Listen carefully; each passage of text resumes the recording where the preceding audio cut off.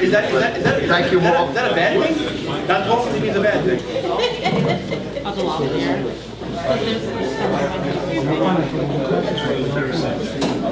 If everyone can, can sit, we want to get started. There's a lot of material in the next two sessions to cover. Um, So far, con il teatro vecchio, vogliamo Everyone, uh, sit. Tonight, we're going to cover, uh, this is part one of the two parts on evidence uh, in the tax court.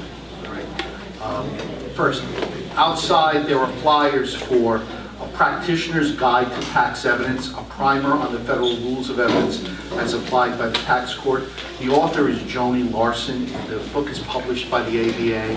It's generally considered the best practice guide out there. So if the, if the voluminous material that I emailed you all was not enough, I would, I would, I highly commend to you, um, Ms. Larson's book, all right?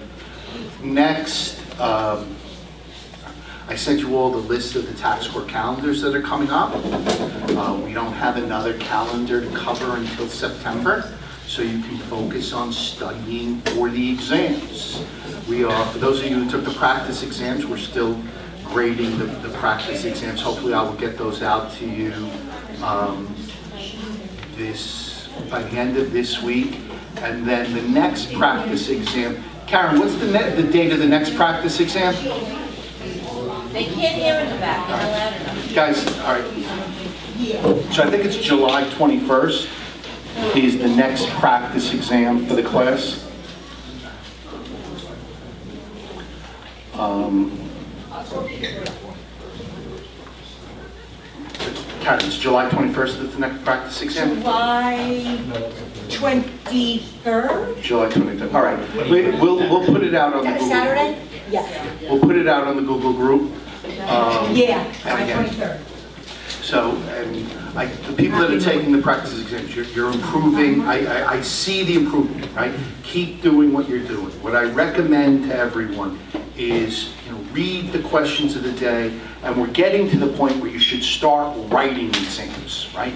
Write a question a day. You can send them in, you can either send them to me privately, send them on the Google group, I will critique them, uh, but you, you need to start writing. You will need, the, the time is a problem for a lot of people on the practice exams. You're not finishing, all right? So you need to start learning time.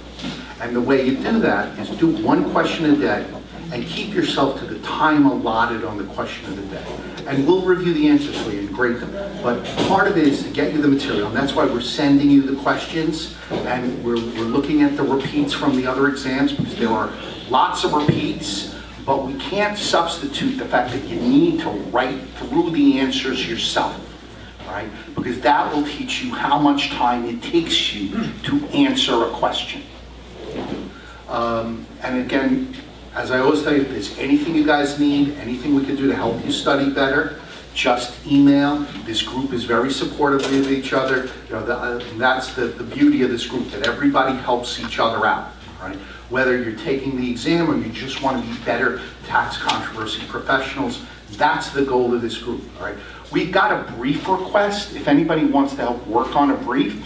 Uh, There was a case that I circulated around called Finnegan. The case involved whether or not the return preparer's fraud extends the statute of limitations even if the taxpayer themselves didn't know of the fraud. Right, that, I circulated that case around. Uh, We have a potential pro bono assignment on that same issue, not that case, but the same issue. Whether the tax return preparer's fraud extends the statute of limitations even if the taxpayer did not know of the fraud. So if anybody wants to volunteer to help work on a brief, uh, please email me or call me, and that's it. Now, evidence. Evidence is where we are not doing the best, Most of you are really getting very good at the substance questions? Uh, Ethics, this is a great group on ethics. Most of you are going to pass ethics. Um, Then there's practice and procedure. We haven't had those sessions yet. Evidence is where we're not doing the best on the practice exam. Jeremy's going to take you over the line, right? Jeremy Clauser in my office, he taught it last year, he's prepared all these outlines, and he will be speaking today on tax court evidence and what you need to know to pass the tax court exam. Thank you. Jeremy? Good evening, everyone. We've kind of changed the class from the last time, and the uh, exercise I went through is I read the last five, I think the last five tax court exams. I took all the evidence questions, I wrote answers for them again, and I made a chart of what areas of evidentiary law and the federal rules of evidence get tested. Most of them don't. So we are going to make sure that we cover all the ones that do. Everything else is in your outline. There are a few things we're going to cover just by way of background that I think it's important for you to know as well. Um, But if it hasn't been on the test, I'm going to tell you that that part hasn't been on the test. In fact, you'll see on some of the slides, it says this has not been tested, but it's there because it sort of fits into something else and it's a good concept to know.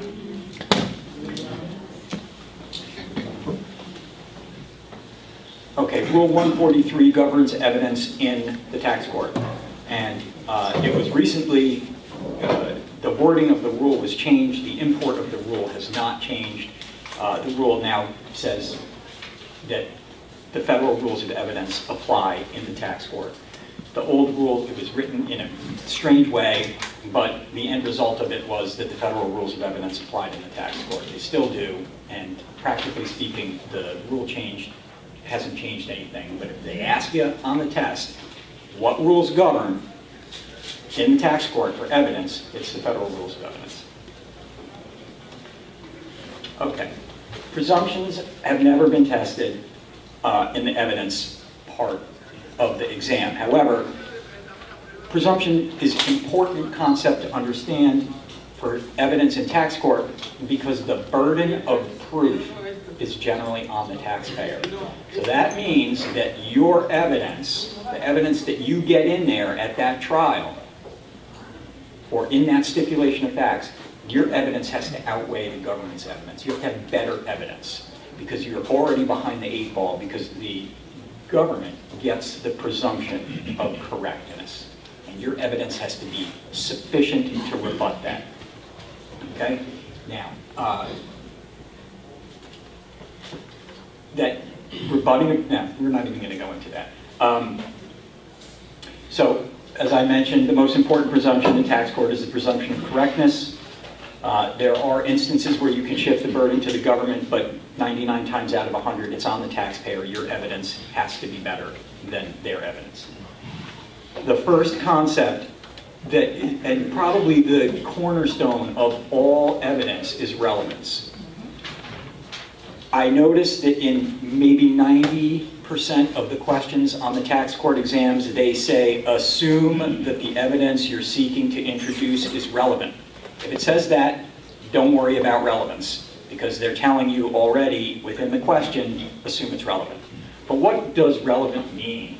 Okay, relevant evidence means any evidence having a tendency to make the existence of a fact more or less likely. Okay?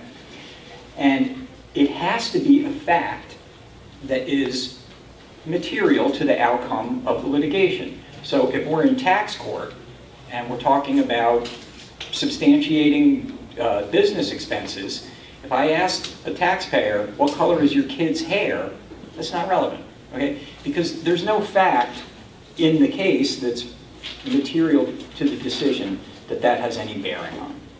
Um, again, read the question carefully because nine times out of 10, it's going to say assume relevance. If it doesn't say it, that should always be in the back of your mind. Is this even relevant? I haven't seen any questions where it's not, but keep it in the back of your mind.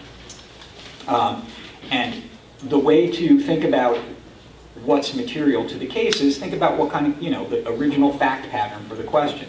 Think about what is the issue in this case. Is it, uh, is it business expenses that we're trying to substantiate? If so, then anything tending to show that a business expense that is made or not made is relevant, whether it was ordinary and necessary is relevant. So keep the substantive tax in mind when you're addressing relevance, so you know what is material to that case. Um, I think we have an example. Uh, Again, you know, business expense, they must be ordinary and necessary and actually paid or incurred. So, as I just mentioned, if the evidence shows something was paid or not paid, or tends to show it, or that it was ordinary and necessary, or not ordinary and necessary, that's going to be relevant evidence. Um, And and that's pretty much, that's all you really need to know for the test. You get, you only get a few minutes to answer each one of these evidence questions, and you just want to hit the import of the rule. So if it's relevance, more or less likely, and a material fact that uh, contributes to the outcome of the case. Um, You should be aware of this, just because you should be aware of it, but under um, Rule 403, relevant evidence can be kept out of a trial. This does, isn't usually going to happen in tax court, you should know it. Um, It usually happens in cases where you have some type of evidence that's really prejudicial. And even though it's relevant, it would, it would sway the trier of fact more than it should. That's not likely to happen in tax court. It does from time to time, but it's definitely something to keep in mind, that not all relevant evidence is going to get admitted. Okay, this concept has been tested. Judicial notice. So there are several ways of getting evidence admitted into the trial, into, into the, into the record of the trial. One way is through testimony. People take the stand and they testify. The second way is through documentary evidence. You offer documents into evidence, receipts, tax returns, bank statements, all those types of things. That's evidence. They may be, it may be done at trial, it may be in the stipulation of facts, where you've already covered all the documentary evidence.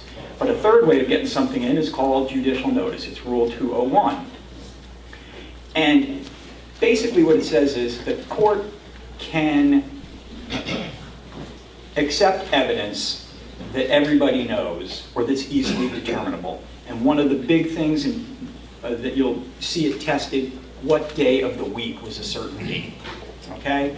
So if a taxpayer gets on the stand and says that I remember December 9th was a Saturday because it was my birthday, and the IRS counsel says, Judge, you know, I've got a calendar right here, December 9th was not a Saturday, it was a Tuesday. Court will take judicial notice of that without any further proof, because it's generally known and it can be easily determined. And by the way, that happens in trials all the time. Somebody says, no, that's the wrong day, I've got a calendar on my phone, and and the judge will accept that. Um, The other thing that you should know about judicial notice is that it can happen at any time during a trial. That's important. It's been tested. It can happen at any time. The court can do it on its own or at the request of a party. Okay? So if there's, a party requests that the court take judicial notice, the court is supposed to give the uh, other party a chance to address it. And if it's appropriate, they are supposed to, the court is supposed to take judicial notice of whatever that piece of evidence is. Okay? Just, just think about dates, because I think that's probably the most likely thing you'll see on the, uh, on the tax court exam. And I think I even put one up here. Uh, All right, so this is from the 2014 exam. It's just, it's almost exactly the one I just gave. Uh, There was testimony about uh, December 9th being a certain day, because it was my birthday. It was actually a Monday. The taxpayer in that question asked the court to take judicial notice. The IRS objecting, arguing that the taxpayer is required to prove the fact. Where a court can take judicial notice, do not need any additional evidence. Question? So is is that a bad thing? So let- let's say I I made a mistake and I thought it was Saturday, but in actuality it was Monday. That- That's a bad thing? Not necessarily. Okay. But uh, in- I I seem to recall that in this, there was an issue here because of the question of whether the library was open or not. So the taxpayer went to the library to check out a book. So it was important what the day was. And um, there was some question about credibility in this one too. But uh, a lot of times it's just to correct a- a- an innocuous mistake or because, you I- you know, I don't want to belabor proving that a certain day was a certain day by going, oh, judge, I've got a calendar, and I got this calendar from such and such a place, and you have to authenticate it and get it moved into evidence. Um, It's just, judicial notice is a, a much more streamlined way of doing that.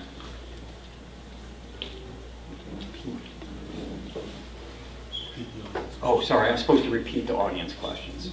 I, I will do that next time.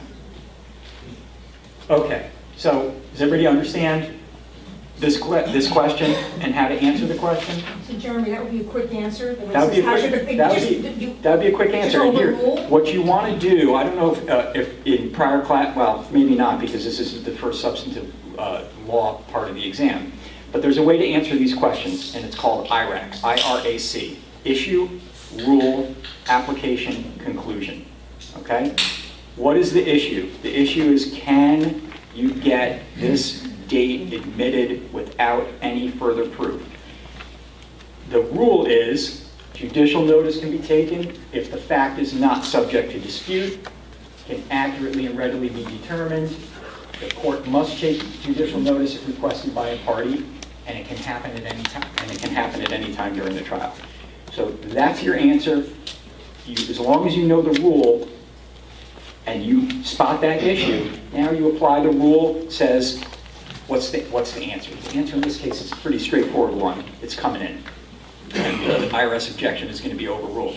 However, even if you got it wrong and said, it probably shouldn't come in because whatever, as long as you address the issue and said what the factors are to get that piece of evidence in, you're going to get partial credit. Probably, you know, a substantial amount of credit. Um, Some evidentiary issues are arguable, and it could go either way. A judge could go either way. This one's pretty clear. But uh, judicial notice is a great tool for things that you can find on the internet that are commonly known, like, you know, not just days, but, you know, uh, what day did a certain holiday fall on that, that doesn't fall on the same day every year. You can get things like that in as well. Yes? Um, Just to backtrack, you said your um, template that you created is able to show that rule in the different questions over the years? Yes. How it applied in the questions? Well, I just, I- what I did was I made a chart, and I took each question, and I put what rule it was asking about. Right. So it's a chart of all the rules that are asked about. So I don't know if that got distributed, and I didn't bring one with me. Did it get distributed? The charts? I believe it was. Did you get it? I believe I did. So if you look at it, you'll see FRE 201, and you'll see exactly which year and which question it was, and you can go back and, I got them all in here, so you can either go Because we to, know, we know the exam is repetitive, repeats. Right. Just over the years. so if you, if you, at the end of the, the second outline, I have all the questions, and then I, I think they gave you the questions separately, so you got them like three or four times. So you can go right to the question, and then I have a sample answer, or at least uh, the bullet points that you need to go through. Okay, Federal Rule of Evidence 408. Um, I believe this was tested either once or twice. Um, It's a very simple rule, and, and the rule is that you cannot get into evidence statements that were made during settlement negotiations. Pretty simple reason, it's to allow for free communication so people can try and settle a case. The question, and I think I probably have it on the next slide, was, uh, all right, so in this question, the, there was, there were some settlement negotiations, and then they fell apart, and the taxpayer wanted to get in some basically business records. And the IRS said, no, you can't get those business records in because we talked about them at the settlement negotiation. Now, I hope you're all saying, sitting out there saying, well, wait a minute, that can't possibly make sense. I, I can't get my business records in, those are facts. Facts are not protected. They're statements that are made. So if I were to say, "Ah, yes, revenue agent or IRS counsel, I did make a mistake on my tax return and I, I deeply regret it, but if you're willing to settle the case for me for this amount, we can all go home happily. Now, we don't settle the case, IRS counsel can't come and say, when we were trying to settle the case, didn't you tell me that you made a mistake? That's the type of evidence that 408 is designed to keep out. This particular example is somebody prepares a summary and it's the IRS that's trying to bring it back in. No, the taxpayer's trying to bring it in.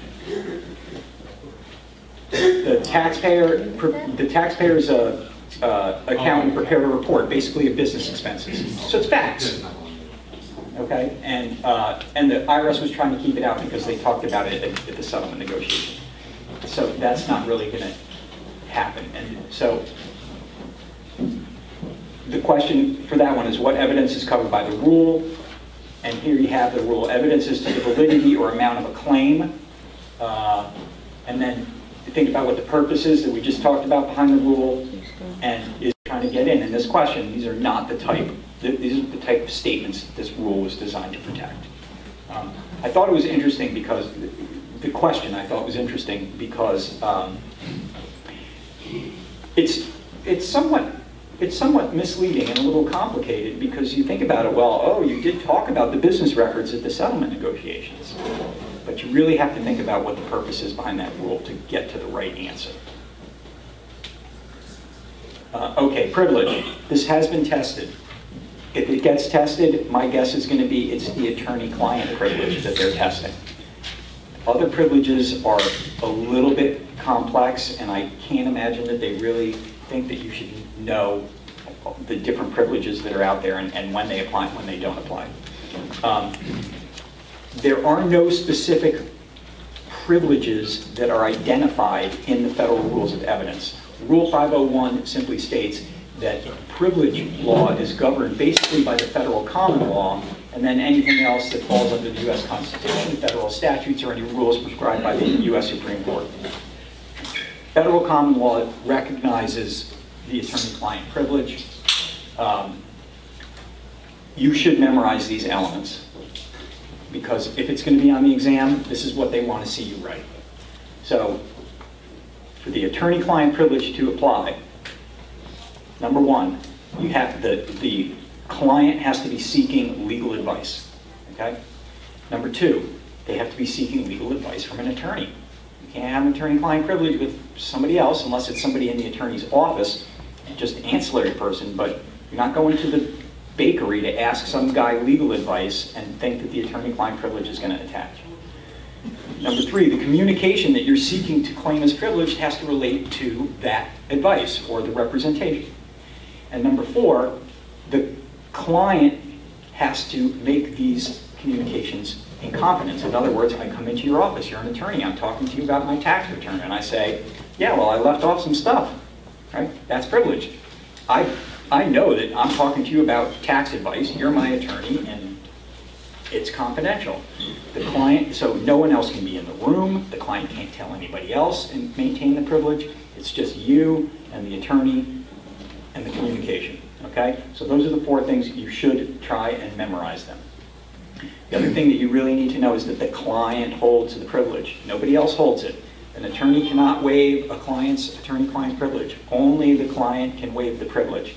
And in this interesting question from the, oh, and just to add, I mentioned that in settlement negotiations, facts aren't really protected by settlement negotiations. Well, facts are not protected by the attorney-client privilege. So if I go in and I tell my attorney something that's a fact that is otherwise known, I can't protect it with the attorney-client privilege, right? I say, yeah, I know it was a Sunday because it was my birthday. The fact that December 9th is a, whatever day of the week it is, is a fact that's not protected, okay? So here's, a- this was a good question. underlying uh, fact, I'm sorry? the underlying fact is not, not protected, Underlying fact.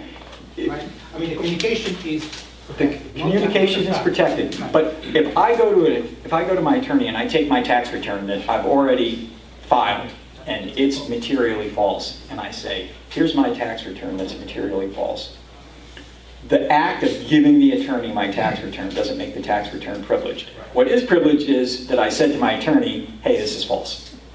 Okay? So the facts that are underlying that are the tax return and what I put on it. That's fair game. I can't, I can't hide that behind the attorney-client privilege. If Yeah, people go ahead. are Right here. Uh, I don't know if that. Hold, hold on, one at a time. Uh, Concerning facts that are admissible in settlement negotiations, uh, what wouldn't, uh, if I'm understanding you correctly, you're saying even though they're facts, if they're in a settlement negotiation, they cannot be used as evidence, correct?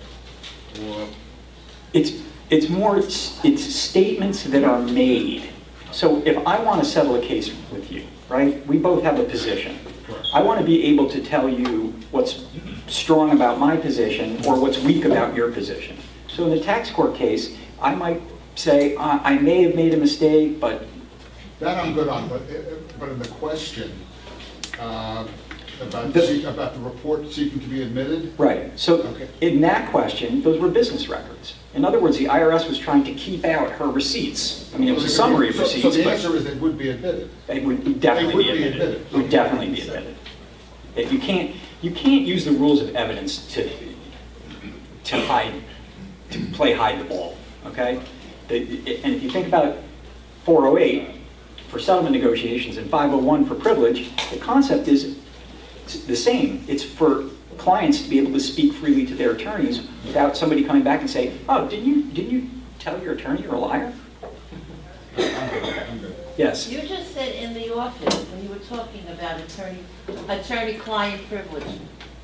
When you say in the office, now you work under Frank Agostino's of attorneys. So if I go into your office and say something, it has the same weight attorney-client, if I said to Frank, or I said it to you, or I said it to Larry, am I correct? Correct. But if I, Oh, as I'm sorry, entering. I have to, I have to, I have to repeat the question. I haven't been doing it, and Jeff is getting mad at me. Uh, Because people at home can't hear, or people who are watching online can't hear.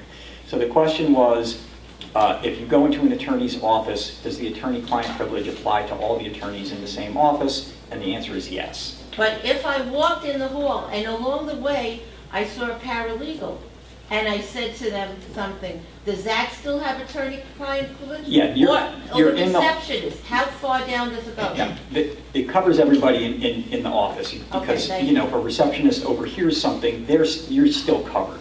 Um, But if you brought your neighbor with you and sat down in my office and told me, hmm, I falsified my tax return, and guess what? That breaks the privilege, which is why we never let anybody sit in with, uh, with clients who are non-clients. Because that's a good question on It the is. if they wanted to, you know. right, Is there another question in the back? Yes? Is suppose an accountant is going to one of these tax clinics and representing the client, is there the same privilege that exists as with an attorney? I assume there's some rule on that under the tax court's pro bono program that it would apply, and I, they're not going to test that. They, they generally don't, that's seventy-five twenty. In a non-criminal case and a non-show, right, those are two exceptions, the tax return preparer's privilege is the same as the attorney-client privilege. So in the example that you gave, going to the tax clinic, working on a civil case, you all have privilege. Okay, so here's a good attorney-client privilege question. And I noticed in 2014, the, it would take longer to read some of these questions than to answer the question because they were really long uh, fact patterns. I also noticed that you didn't really have to read the first one at the beginning because the, each question told you what you needed to know right within the question. Anyway, so in this case, the taxpayer, the, the basic thing you need to identify is the taxpayer testified that all these sources that he went to said that the $100,000 at issue did not need to be reported as gross income, including testimony that his tax attorney, the taxpayer's tax attorney, prepared and delivered him a written memorandum which detailed the attorney's conclusions regarding whether the $100,000 should be reported on your tax return. Now, the other side, of course, they want to see the memo. Now, you think that's covered by attorney-client privilege? Absolutely. Who said absolutely? You did? Okay. Now, let's go back. I'm glad you said that. So let's go back. Was the taxpayer seeking legal advice? Yes. Was it from a professional? Yes. Did the communication relate to legal advice? Yes. Now, was the, did the client maintain the confidence of that communication? No. What did he do? He testified about it at trial. It's called waiving the privilege, Okay, that might have been an implied waiver or an inadvertent waiver, but it's a waiver nonetheless. You can't go into court and say, my lawyer told me that this was okay, not to have to testify to what your lawyer told you. Okay, you can't, it's not a double-edged sword, okay? Okay, so that question was designed for you to identify the elements of the privilege, who holds the privilege, and how the privilege was waived, okay, by the testimony. Okay. As I said at the beginning, there are different kinds of evidence. So we talked about, I, I mentioned documentary evidence, testimonial evidence. We know about judicial notice now, right, under Rule 201. We're all good with that, and we're going to get that one right if it's on the test. So there's another type of evidence, which is called habit evidence. And that comes in under Rule 406. And basically, habit evidence which isn't the best evidence, as you can imagine, in the world, habit evidence, allows you to introduce um, a process or a, a habit, really, uh, that something is done repeatedly and the same way on every occasion. So, tax court exam, I probably have this, the question, I don't know which one we have for, for habit, but um, taxpayer testifies that his annual procedure for preparing and filing his tax return is that on April 10th, he gets everything together. On April 11th, he prepares a tax return, and on April 12th, he puts it in, a, in an envelope and mails it off. And there's some question in the case as to whether the return was timely filed. That evidence is actually admissible under the, under the rule, the habit rule, okay? Um, it doesn't have to be corroborated, and it's not very strong evidence, but it is admissible, and it, ha it has been tested. No subject to 403? I'm sorry? Subject to 403? Sub Subject to... subject to Rule 403? Habit evidence is not really prejudicial. So he, the, the question was, is, uh, is habit evidence subject to Rule 403? The answer is yes. The technical answer is all evidence uh, is subject to 403. However, if I say that I mail my tax return on the same day every year, that's not very prejudicial. It's also, you know, habit evidence is, is you're only going to rely on that if you've got nothing else, okay?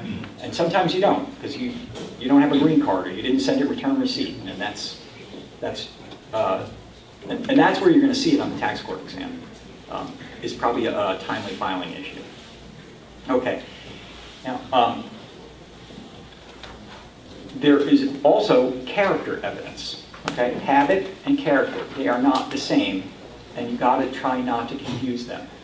So habit is regular response to a repeated situation.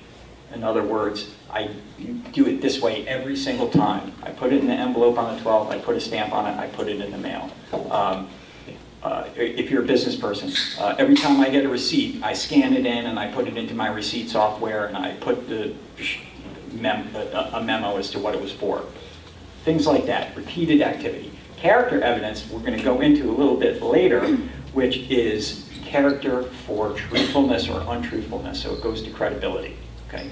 So habit goes to routine, and character, you'll see, really goes to credibility. All right? Okay. There it is. I did, I did use this one. Okay, so you see from the 2006 exam, taxpayer, question was, was, it, was the return timely filed? As some evidence, T offers, the taxpayer offers to testify and introduce other evidence that he or she invariably filed every federal income tax return from 1980 through 2004 on time. Okay, so here, the question is, is this evidence relevant? Okay, what do you think? Anybody? Yeah, why is it relevant? Somebody tell me why it's relevant. I'm sorry? No, that's not why it's relevant. Does it tend to make a material fact more or less likely? Yes or no? Yeah, if I, if I, if I file on time for 24 years in a row, eh, it's, you know, 25th is not, is not a stretch. So it does tend to, not very much, but it does tend to make that fact more or less likely. Is that a material fact when I filed my, time, uh, my tax return? Is that a material fact in this case? Yeah, because that's the issue. Was it timely filed? So it is relevant. And under 406, it's a habit, and it's admissible, okay? Not going to get you very far, but it's definitely admissible. Okay, so we just went up, uh, over the relevance, habit, what is habit? It's relevant, it is admissible in this case, and you don't even have to have any other evidence. If you did have any other evidence of when you sent your tax return, it would be better than the habit evidence, but if that's what you've got to hang your hat on, you can get it in. Okay, character evidence. Like I said, let's think about habit equals routine, character equals credibility. Because when we talk about character evidence, we are generally talking about credibility. How am I doing on time? No, I got my five minutes. Um, so the, although habit evidence is used to show that a person responded the same way time and time again, when you're talking about character evidence, it doesn't work that way. You cannot use character evidence to show that somebody did something in keeping with that character. So if somebody is a habitual liar, okay, you generally can't use evidence to show that they lied on this occasion. Or if somebody has filed several fraudulent income tax returns. Just because they did it before doesn't mean that they did it this time. Okay? Habit evidence, it's the opposite. I did it before, so I probably did it the same way this time. Okay? Uh, yeah, 404 has never been tested, so it's in the it's in the outline and the, and the uh, so you can look at it if you want more information on that. It's there. Um, so again, I'm going to hammer it. For tax court purposes, character equals credibility. Okay, character equals credibility, and the credibility of a witness is always, always relevant. Okay, whether whether somebody is credible or not or has biased motive, always, always relevant. Uh, an important thing to know, where they might try to trick you on the evidence part of the exam, is Rule 607, which says any party can impeach the credibility of any witness. That includes your own witness. So if you get a guy who gets up on the stand and you start asking him questions and all of a sudden the answers are complete opposite of what you expected, you can impeach your own witness and would probably have to in that case. Okay? That has been on the exam, impeaching your own witness. So keep that in mind. Um, all right. So sometimes you can get character evidence in. Okay, and that evidence is going to be as to the basically the truthfulness or untruthfulness of the person, what their reputation for that is, and if they have any criminal convictions, there are uh, there are factors, but you can get in some criminal convictions to impeach a witness's credibility. Um, and we're going to get to that. I just wanted to um, make the distinction character and habit. So we're going to do, we're going to get into the character evidence a little bit more in depth. Um, all right, so now we're going to start talking about when you get to Rule 600 in the federal rules, the 600 rules uh, deal largely with testimonial evidence. So you've got a witness on the stand, and the rules deal with witnesses and impeaching witnesses. Okay. Some of these have never been tested, like this one, never been tested, but it's kind of good background, you need to know it. There are, not anybody can testify, okay? There are basic prerequisites. One, competence, okay? So a person has to actually be competent. If somebody has Alzheimer's and you can show that, they're not going to testify, okay? So they actually have to be competent. Uh, it's usually not an issue, but like I said, somebody has dementia or Alzheimer's or memory loss, they can't testify because that's not competent testimony. You have to testify from personal knowledge, Rule 602. So you can't just go up there, have a witness go up there and say a bunch of stuff that they read in a book or heard out on the street, okay? Personal knowledge. You, the witness has to have personal knowledge of the events they're being asked about. You have to take an oath or an affirmation. You don't get to go up there and not testify under oath, okay? You are testifying under the penalty of perjury. If you refuse to take an oath or an affirmation, you're not going to testify. Okay. The, this, is all, this has been tested. The form of examination, what they like to test is leading questions. Okay? So there are two types of testimony, right? There's direct, when your lawyer questions a witness directly, and there's cross-examination, when your lawyer questions the other party's witness and tries to discredit or show that their testimony is somehow inferior or incorrect. So we have direct and cross. What Rule 611 says is leading questions are not allowed generally on direct examination. What's a leading question? A leading question is a question that gives you the answer in the question. Here's a great leading question. Isn't it true that you're a return preparer? Okay, that's a leading question. That says, yeah, well, the answer is yes, I'm a return preparer. A non-leading question is, what do you do for a living? Generally, questions that start with who, what, where, why, or how are not leading questions. Questions that start with, isn't it true that, or isn't it a fact that, are definitely leading questions, okay? Yes?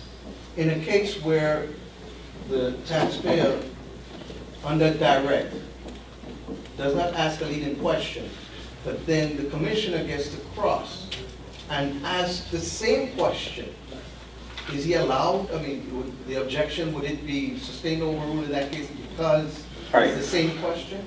I'm not going to answer that, and I'll tell you why, because it's just going to confuse everybody. When we get to cross-examination, your question will be answered, okay?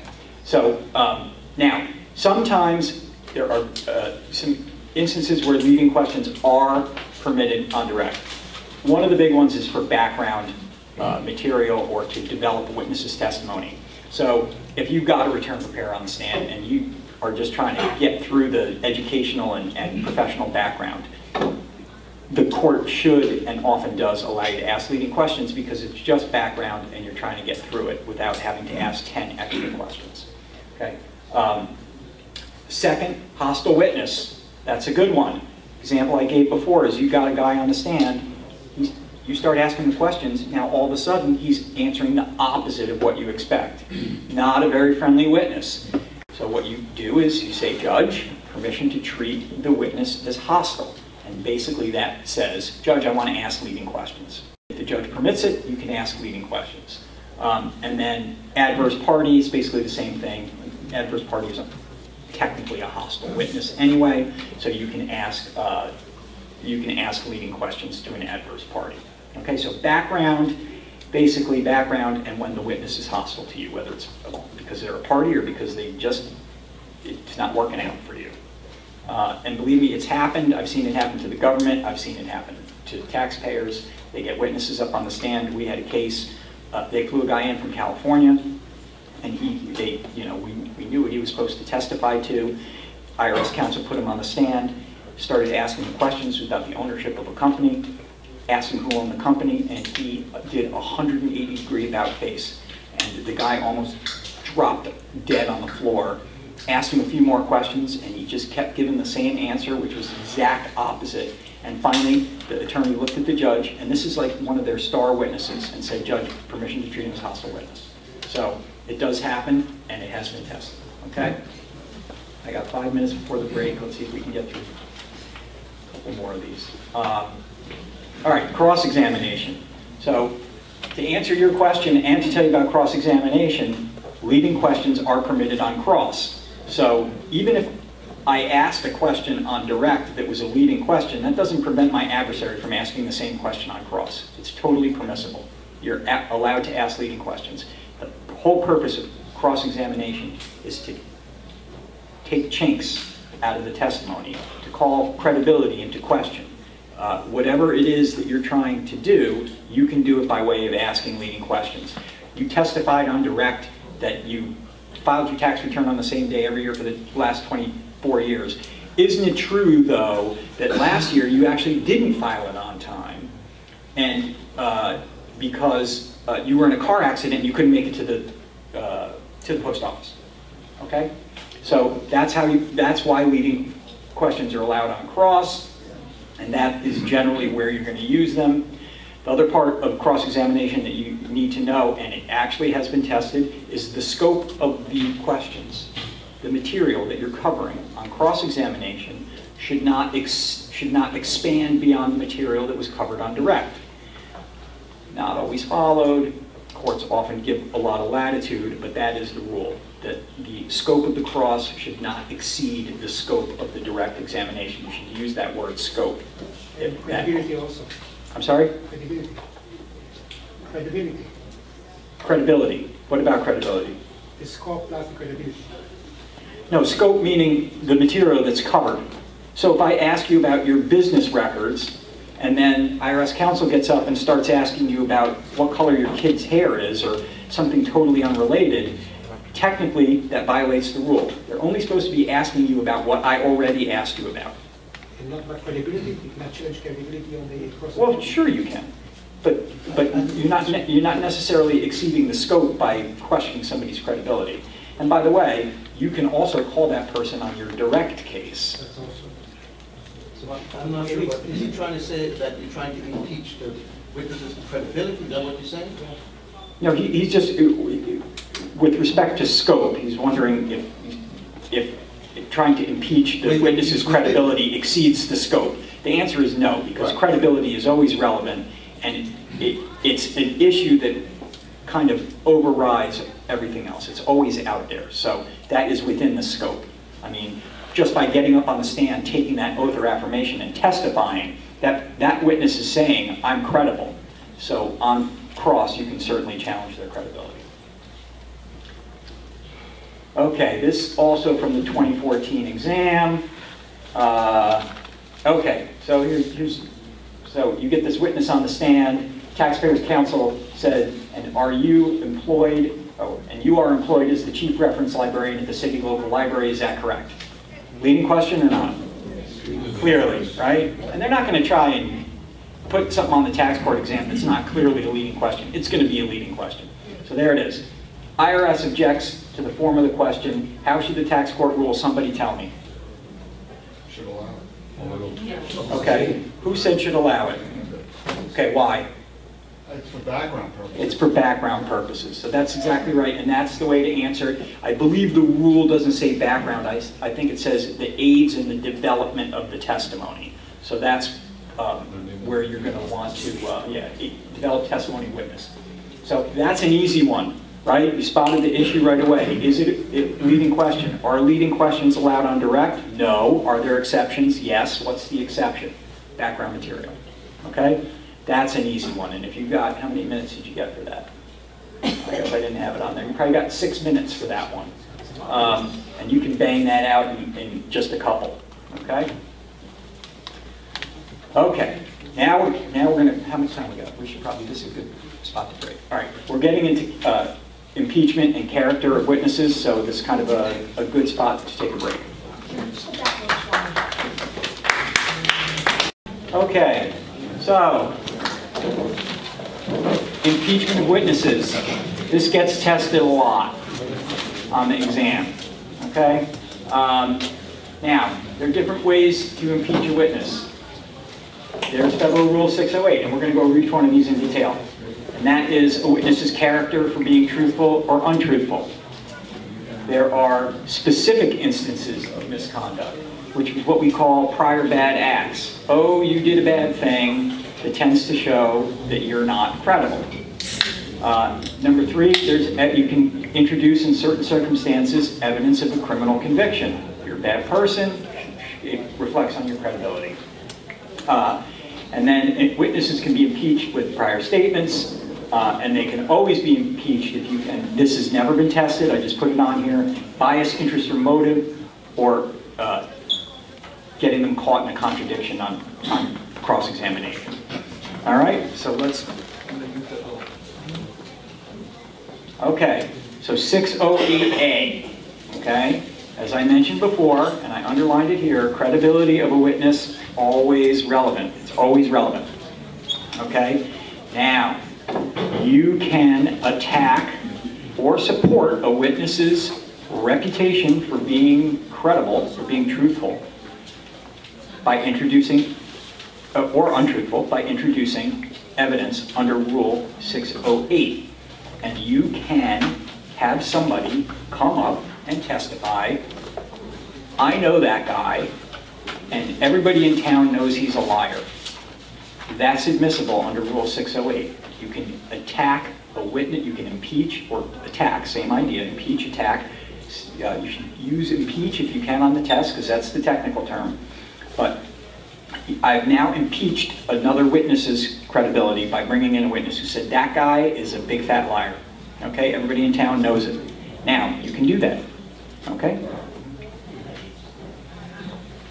Now that just happened to me, and I got a witness, and now my other witness is a big fat liar. So now I can bring somebody in to testify to the opposite. He's not a big fat liar. In fact, he's just the opposite. He's, you know, he's the hand of God. He never, he never lies. Gives money to orphans every day. Okay? But you have to know one thing. You cannot, cannot put a witness on to testify about how truthful a person is until after they've already been attacked. And that's what they test on the exam. It's called no bolstering. You cannot bolster the credibility of your own witness. You have to wait until their credibility is challenged, and then you can respond to it. Okay? So there you see it right there. Evidence of truthful character is admissible only after their character for truthfulness has been attacked. No bolstering. It has been on the test many times.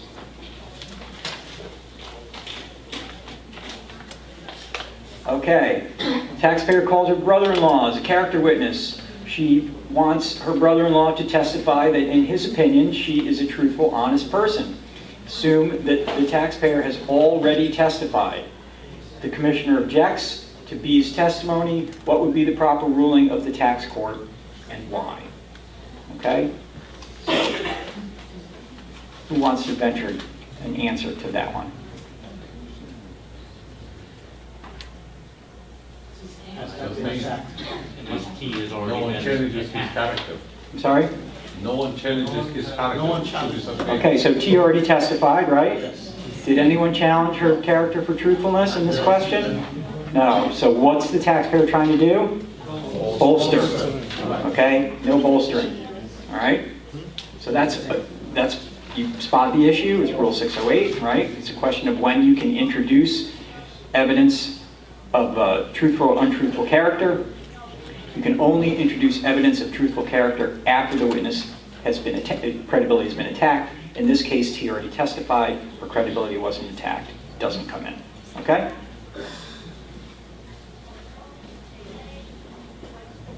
And you could even, you could even put it this way. One could argue, I don't know, we didn't, didn't say what T's testimony was or whether her credibility was attacked. So if you want to answer it this way, you can just say, the taxpayer already testified. The issue is whether we can bring in uh, character evidence for truthfulness. And the answer is, we can uh, if her credibility was attacked, and we can't if it wasn't, because the rule says no bolstering, okay? That's, uh, how many minutes did they give you for that one? So you got six minutes for that, and that's another one. Some of these questions, you can answer them much more simply than you might think. Don't overthink these questions. You got six minutes, you can answer this thing in two minutes, But okay? on the one, do you have to put, put down sustained or overruled, or you don't have to do that on? Uh, uh, uh, The question was, do you have to put down sustained or overruled? Are we talking about this question? No, the one prior that you just had.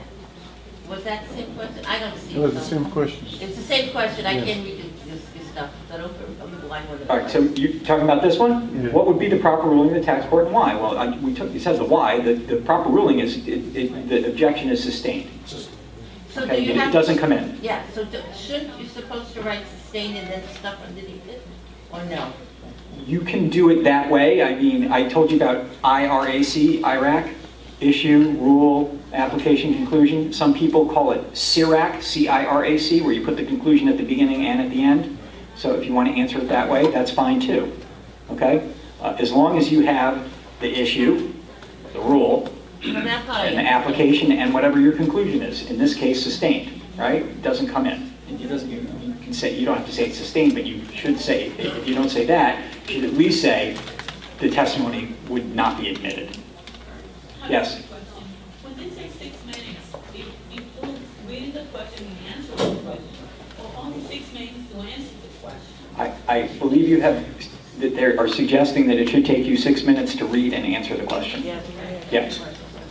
But, you know, a, a lot of these, you can answer in two minutes. When you get a simple rule like this one, you can spit out the rule. This rule doesn't have a million exceptions. It's not like hearsay, which we'll get into in the next class, where you're discussing eight different things. You're talking about a very simple rule and uh, the application of the facts of the question. Okay. All right. So that's testimony for truthfulness and untruthfulness. Now, you can impeach a witness by showing evidence, in some cases, of prior misconduct that might impact their credibility. So they can be impeached by specific instances of misconduct under 608B. Criminal convictions are under different rules, so we're going to get to that next. Okay? Now, I told you before, you can't show, you can't bring in evidence to show that somebody's acting the same way they did, the same bad way they did before. Okay? So the general rule is prior bad acts don't really come in. Except, all right, on cross-examination, you can ask a witness about these prior acts of misconduct as long as they are somehow relevant to credibility. In other words, they tend to show that the person is more or less credible, and credibility is always relevant, okay?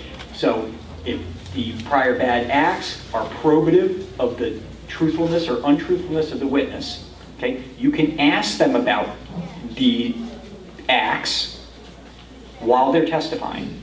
This act is Uh, unconvicted, right? We're not talking about criminal convictions, that's a separate rule, so let's not get, let's not get confused. Okay, you can ask them about it on cross-examination while the witness is testifying, okay? Or you can ask uh, another witness who that witness is testifying, is being asked about. So, um, I've got a witness, he gets up on the stand, and he says, uh, and, you know, this is gonna be the example, we'll, we'll do it with the example, because I have it in here. I- Okay, now, the one thing that you need to remember is that when you get this witness on the stand and you say, didn't you cheat on your exam in college? And he says, no, you're not getting extrinsic evidence in to show that he actually did cheat. You have to live with the witness's answer. You're stuck. You're stuck, exactly right. All right? All right. Of course, I read the same one because they're all in my head. All right, so we've got a witness on the witness stand. He testified he was a student at City University on cross-exam. The IRS asked the witness whether two years ago if he was suspended for plagiarizing a term paper. The taxpayer objects to this question. How should the tax court rule? Okay, so let's look at that. We know the general rule is you can't show prior bad acts to demonstrate that a witness is continuing that behavior. However, what, what will we say? There's an exception. The exception is the witness has to be on the stand. Is this witness on? Okay, now we know on cross at least we can ask them about these prior acts of misconduct, okay? If they're probative of credibility. So would cheating on an exam be probative of somebody's credibility? I think it would, and you should, you, I think that it certainly would be the, your argument in the answer. And if it's probative of, of credibility, and they're on the witness stand, can you ask them about it? Under Rule 608, you can ask them about it, okay? Now, if he says, no, I didn't plagiarize that term paper, let's see if I have that. Okay, here it is. So now he says, uh, uh, for, he denies it. I did not submit a plagiarized term paper, and I was not suspended from the university. So now the IRS wants to admit a certified document which is addressed to the witness and informs the witness of the suspension for plagiarism. Okay, the taxpayer objects, arguing that this type of impeachment is improper. How should the tax court rule? Sustained. Sustained. Why should it be sustained? Because further into the issue than. Extrinsic evidence. The words you want to use are extrinsic evidence. Once, once you go down this, this road for uh, prior bad act impeachment, you are stuck with the answer. No extrinsic evidence is allowed. So if the witness says, I didn't do it, witness didn't do it. Now, you can bring another witness on to say he's a big fat liar, but um, you're stuck with this answer. All right, so we have a question back there? But if, if proving that he did it was beneficial to the case, why isn't the evidence allowed? That's where I'm not, under- that's what I'm not understanding. The, the evidence about, uh, so the question is, um, why the evidence wouldn't be allowed if it's important to the case. And the answer is, this is not, these aren't material facts that go to the case, this is only about credibility. Okay, so there are certain limits. While credibility is always relevant, there are certain limits to how you can show a person's uh, character for credibility or lack thereof. So whether or not this witness plagiarized a term paper and whether or not they were suspended from the city university has nothing to do with the underlying facts of this tax case. It only has to do with their credibility. So in, because of that, there are some constraints to what you can do and what you can't do, and Rule 608 is telling you what some of those constraints are, okay? Uh, Why would this evidence be admitted anyway if the, I thought that there was a one-year time limitation under which, the, you know, bad act can be considered relevant? No. So the question was, is there a one-year limitation on prior bad acts for character evidence? And the answer is no. You're, you're, you're, you're confusing it. There is a time limitation for criminal convictions. Okay? So don't confuse, just because I'm calling them prior bad acts, don't confuse that with criminal convictions. A totally separate rule. And we're going to get to that one next. Because it's the next in the book and it's the next in the series. You had a question? Can I truthfully say that extrinsic evidence is not part of the original document or the original statement? Therefore, No, ex- what extrinsic evidence means, you asked me a question, I answered it. Now, anything outside of my answer is extrinsic to my answer. Okay. So you want to show that, that my answer is wrong by bringing in another piece of evidence. You're not allowed to do that in this I circumstance. think that's what word I was looking for, is outside of the original. Well, extrinsic is outside, Okay. right? So you can't go outside my Outside. testimony to show that I'm wrong, or that I'm lying, or whatever it is. You have to do it a different way. is. Okay? Confusion is right, it's outside. Outside, right. So this, remember, this is not substantive evidence about the case. This is, goes, just goes to the witness's credibility, okay? So it's, there are only certain ways you can impeach. 608 lays out how you do it for, for prior, or how and when you can do it for prior bad acts. But it's testimonial. 608, it's only testimony, no extrinsic evidence, okay? Unless the judge uh, agree. Six, uh, fourteen. Okay, a judge can agree to anything. That's not going to get you the right answer on the exam. That's the problem. So, listen, I've tried a bunch of cases in tax court. I've never seen a piece of evidence excluded. Okay, man, I'm, I may be exaggerating. It's very rare. It's very rare, but that doesn't make it right. Okay, and that's not going to get you the right answer. Because you could, by the way, you could answer almost every question on this exam, if you want, practically speaking. In the tax court, the judge would probably let it in. And that would be the right answer. But that's not the right answer. We're learning the rules evidence. You can't put that on the exam. Okay, criminal convictions. Okay. Again, don't get confused between 608 and 609. Now we're talking about criminal convictions. Okay? Now, evidence of a criminal conviction is admissible to impeach a witness's credibility. Yes. But of course, there are restrictions to that. What are the restrictions? Okay. Number one, the first kind of crime you can use, it has to be a felony. What's a felony? Oh, you already told me not to lean on that. What's a felony? A felony is a crime that's punishable in that jurisdiction by imprisonment for more than a year. And they will tell you that right on the test. It'll say, in the jurisdiction in which this crime committed, the punishment was more or less than a year. And that tells you it's either a felony or a misdemeanor. If it's not a felony, you can't use it, except if it's a crime involving dishonest act or false statement. So you can use two types of crimes, felonies and crimes involving dishonest act and false statement. Somebody think of a crime involving a dishonest act or a false statement. Tax Perjury, there's a good one. Any kind of fraud, okay? And even if it's a misdemeanor, in other words, punishable by less than a year, you can still use it, okay? But murder, which is a felony, comes in because it's a felony, not because it involves a dishonest act, okay? All right, now here's where you, I think you got confused. Convictions cannot be more than 10 years old. That's the general rule.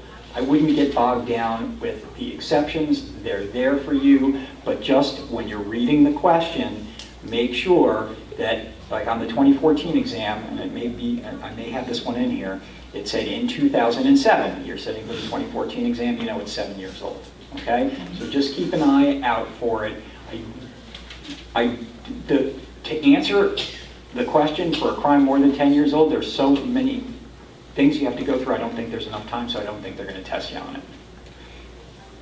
Okay, so, again, I don't think they're gonna test you on this either, but you should just keep it in the back of your mind in case you see any of these words in the, in the, in the question. Pardoned, annulled, certificate of rehabilitation. So if the conviction has somehow been, uh, no, not paroled.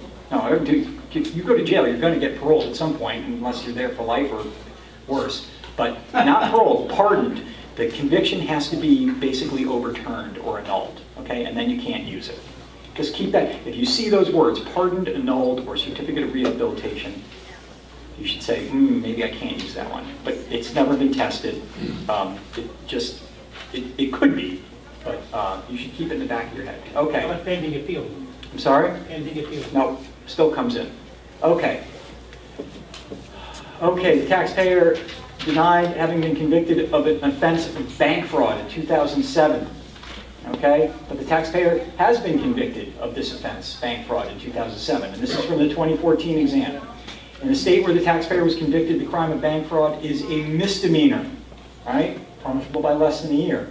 IRS seeks to admit a certified copy of the taxpayer's bank fraud conviction. The taxpayer objects, arguing that it's improper impeachment. How should the tax court rule? Don't get confused with Rule 608 and the extrinsic evidence. Okay, this is Rule 609. Guess what? You can get extrinsic evidence to show that the, the witness was convicted. Okay? Don't confuse that. Don't go into 608 on this question because you'll be writing forever and you will not get the right answer. So under 609, we've got two types of things that can come in. What, what are they? Felonies and and, uh, dishonest acts, right? Okay, is this a felony? No. No, why? Misdemeanor, less than one year. Punishable by less than a year, so it's a misdemeanor, so it doesn't come in as a felony. Does bank fraud involve a dishonest act? Yes. So is it gonna come in for that? Okay, and is it 10 years old or more? No. And that's your answer, okay?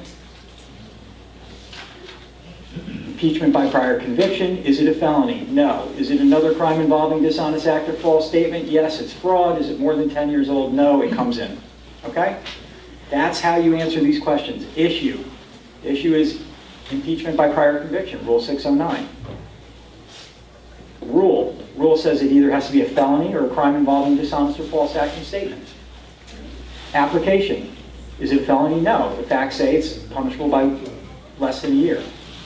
Uh, Is it, uh, uh, application, is it a crime involving a dishonest act? Yes, it's fraud. And is it more than 10 years old? No. Okay? That's the way to answer that question. Very simply. Ooh, did I do? Okay. All right. Inconsistent statements. All right. This is um, widely used technique to impeach a witness. You say something on the witness stand and you've said the opposite thing or something different before. Okay, comes under Rule 613, prior statements. A witness may be impeached by testimonial evidence of a prior inconsistent statement. You're not going to ask him about a prior consistent statement if you're trying to impeach him. So, uh, the prior statement need not be shown or disclosed to the witness. You don't have to tell him, you know, didn't you say X, Y, and Z? Uh, you know, you, wasn't your testimony ABC today, and didn't you say X, Y, and Z before? You don't have to tell them what they said before. If there is a written statement, or there's some statement that can be shown to the adverse party, if they ask for it, you have to, you have to disclose it. In other words, especially if you have something in writing, the witness wrote a letter or something, made some kind of statement that you have in writing, you have to disclose it. Okay. Once again, there's no extrinsic evidence of the prior statement unless, okay? And in this case, they love to test on this. So we're going to go through this carefully. The witness is given the opportunity to explain or deny the prior statement. In other words, the witness has to be on the stand.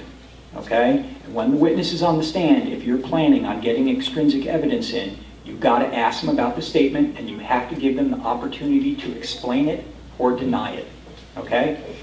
And the adverse party has to have the opportunity to examine the witness about it. In other words, you're going to ask the witness, then the other party's going to come in and say, oh, wait a minute, didn't you really say this, or whatever, try to, you know, spin it the other way. Those two things have got to be accomplished while the witness is on the stand before you can get extrinsic evidence in. Now, this doesn't apply to statements made by a party, we'll get to that later, those are admissions, but we're just talking about your run-of-the-mill witnesses here, okay? What they love to test you on is they'll say that after the witness testified, and that's probably going to be my example, after the witness has testified, the adverse party tried to get in this extrinsic evidence, and they weren't, and the witness wasn't given the opportunity to explain or deny, and that's the answer to the question, and that's the likely way that they will test you if this is on the exam, and this is probably it. Uh,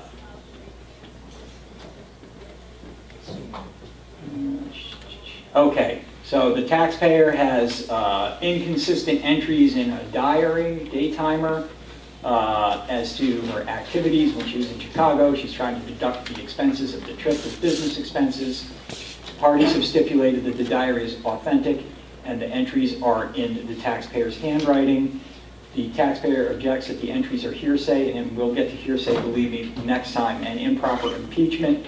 And the commissioner wants to offer it only to impeach, okay? So not for whatever's in it, but just to show that the credibility of the taxpayer is not so good, because now she's saying one thing and in her diary it says something else. Okay. Is extrinsic evidence being offered? What is the extrinsic evidence? The diary, right? Yes. Okay. When is extrinsic evidence of a prior statement admissible? After the witness has been given the opportunity to explain or deny.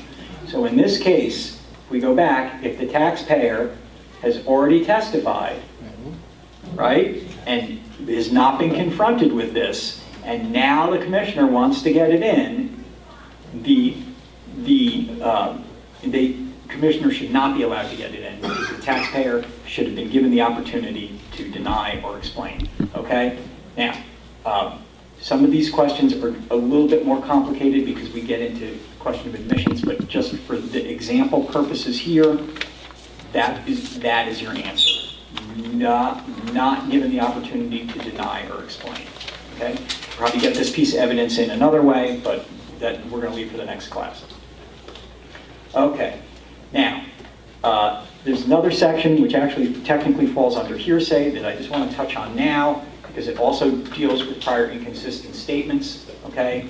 And a witness can always be asked about a prior statement, a prior inconsistent statement that was given under penalty of perjury, okay? So either at a trial or a hearing or a deposition, okay? If they did that and it's under penalty of perjury, you don't have to worry about the other rule. You can always ask them about a prior inconsistent statement. Now, let's see if I put this here. Okay, now, the other thing you need to know, and again, this overlaps with uh, hearsay, is that a prior consistent statement under Rule 801 is different. And much like one of the other rules we studied today, you can't you bring in a prior consistent statement unless it's offered to rebut an express or implied charge that the, that the witness who, who made this consistent statement recently fabricated his current testimony. So in other words, it's like the no bolstering rule, okay? You can't use a consistent, a prior consistent statement unless the witness has been challenged on it, okay? Uh, or, uh, same, idea that the witness now in testifying has an improper uh, influence or motive that intervened, okay? And finally, just like the no bolstering rule, you can bring it in to rehabilitate a witness whose credibility has already been attacked, okay? So it's very similar to the no bolstering rule. Okay, all right, here we go. Right off the bat, assume the taxpayer's credibility was attacked. So now that triggers in your head. When, once you just once you see that, assume it was attacked, you know that you can rehabilitate that witness. Okay, so you know that those rules that say no bolstering That's out the window now, right? Because you're not bolstering, you're rehabilitating. Okay? He's attacked on the issue of whether he went to withdraw a book from the library. He calls W3 to the witness stand, and this witness testifies that he was home all day on Monday, December 9th, that the taxpayer called him and said, he's going to come over to my house in 30 minutes, but before I do, I'm going to the library to withdraw a book on federal income tax gross income rules. Now, this is a hearsay question. I put it in here anyway um, because it's a prior consistent statement his testimony. I went to the library to take out a book. That was my testimony. And now the IRS attacked his credibility on the issue of whether he went to the library. Okay? So now I can rehabilitate him. And I can bring that in as a prior consistent statement because it's being offered to what? To rehabilitate the taxpayer's credibility. Okay? And we'll talk, when we do hearsay, we'll talk about the hearsay aspect of this. Okay.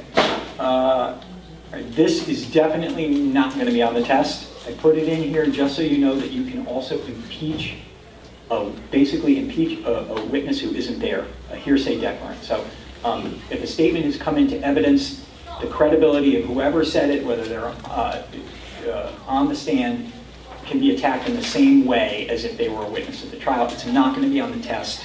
Um, I just thought it was important for you to, to know that these concepts, uh, and we'll talk about it again when we do hearsay next time, that, uh, that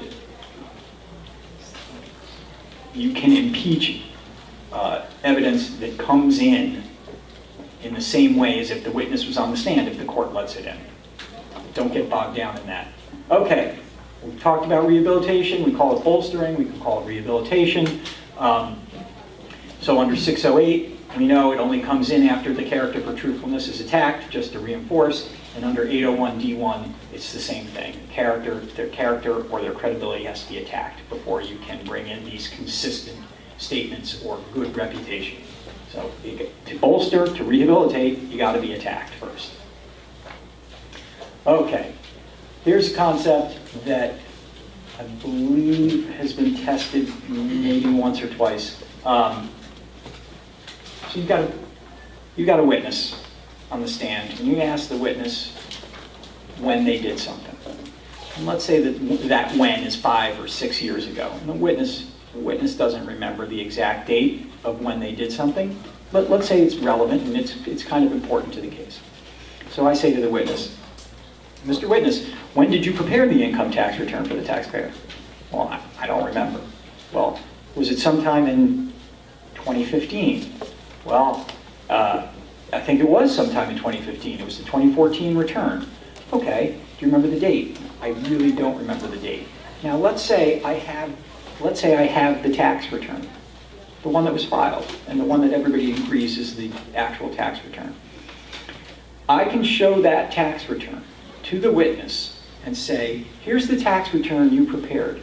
Take a look at it and let me know if that refreshes your recollection. Okay?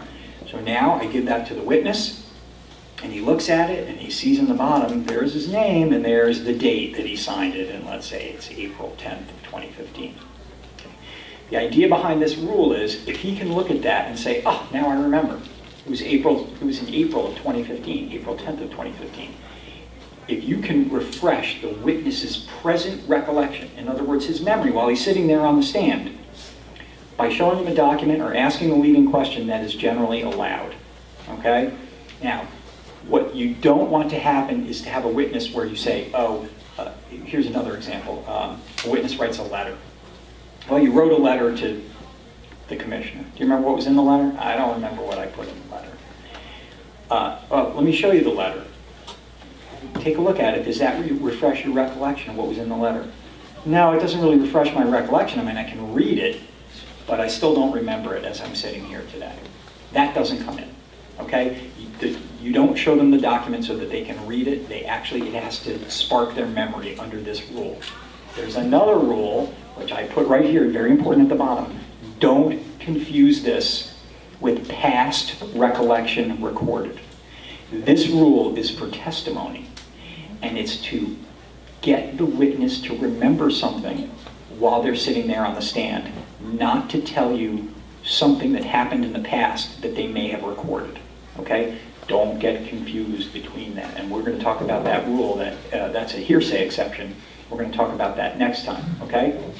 The idea is that the document or question will spark the witness's present memory, not that the witness is just reading the document, okay? If the witness is shown a document to refresh their recollection, it does not come into evidence, okay? Unless it's coming in for some other reason at some other point, but not for this, all right?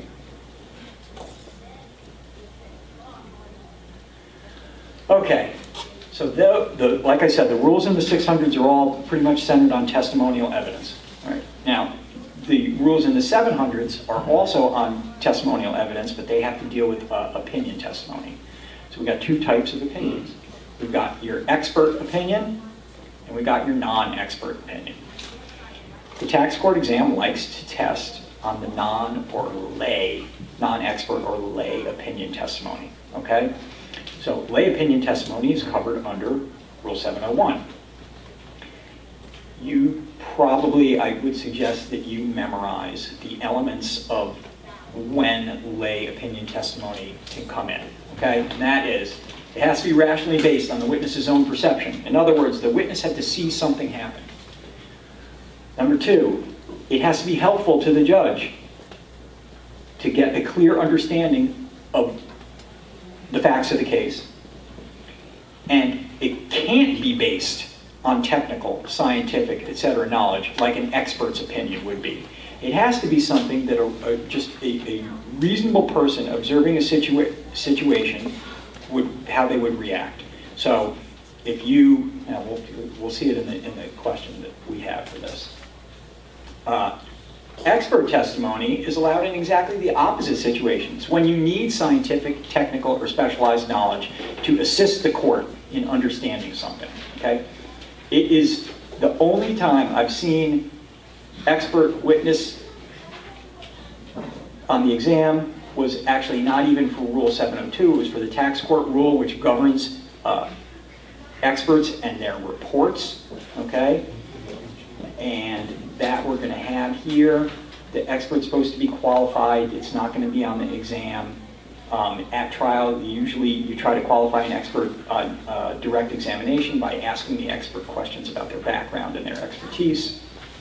Um, an expert's testimony has to be based on sufficient facts or data. It has to uh, be uh, the result of a reliable method and the method has to be reliably applied. These are things that the tax court or the judge in any court is supposed to go through before they admit expert testimony. It is not likely to be on the exam, but if you are, have a valuation case and you have a valuation expert, you're going to need to know this.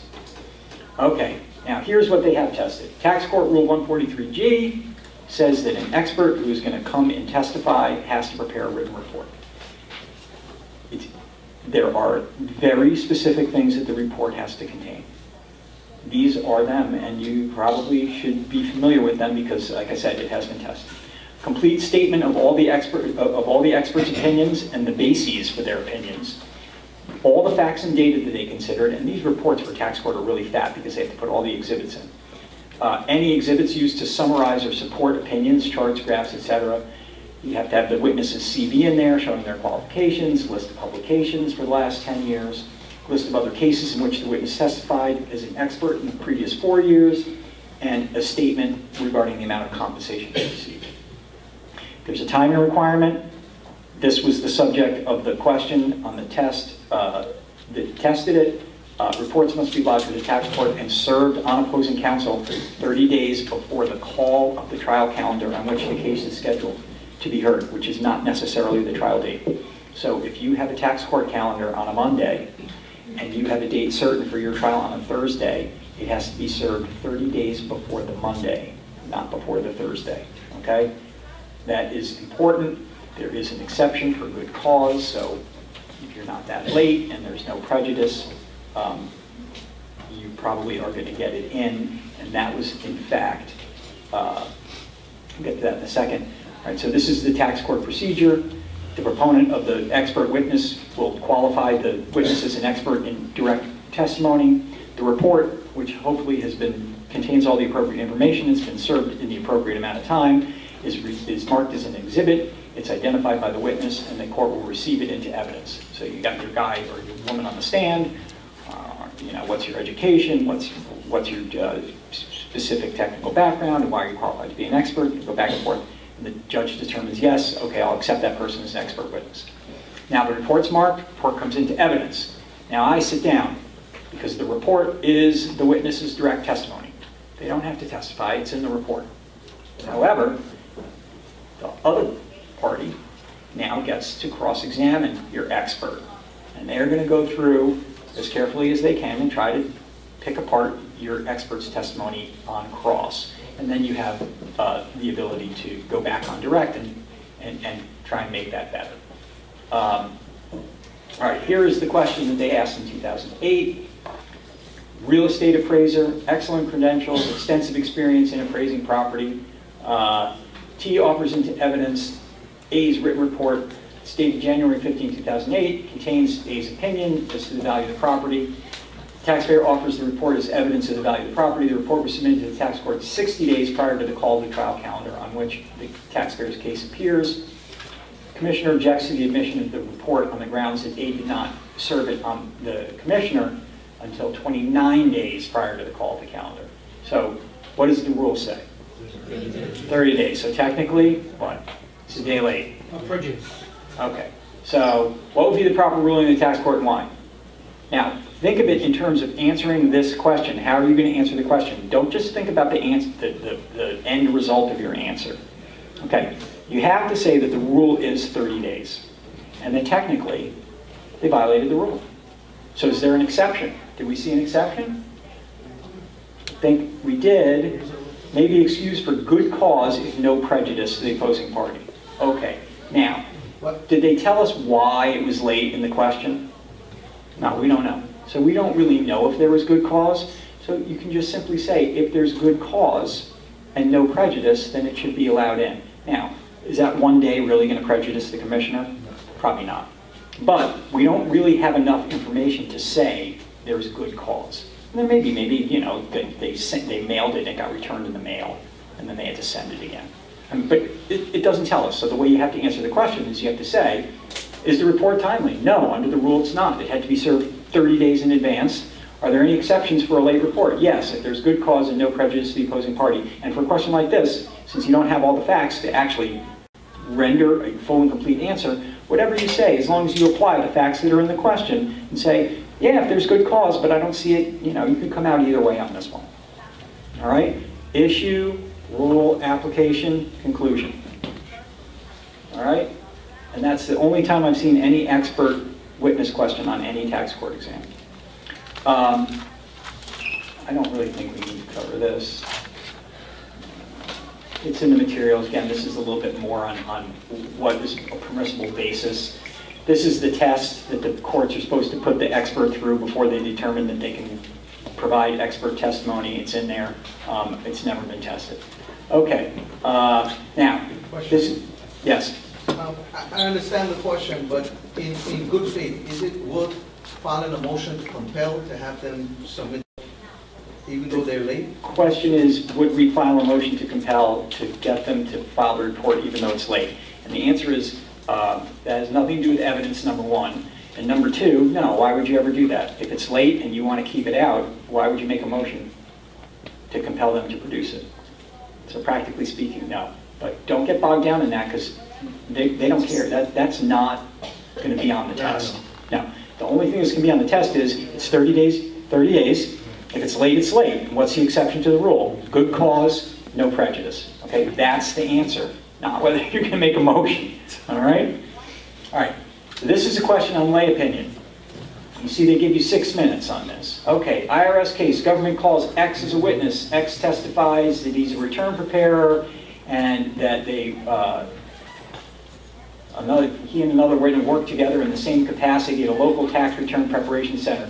X testifies that in April 2007, he observed the taxpayer walk into the suite shared by X and A. I assume A is the actual return preparer in this case and place the taxpayer's tax return face up on a table before leaving the area for a few minutes.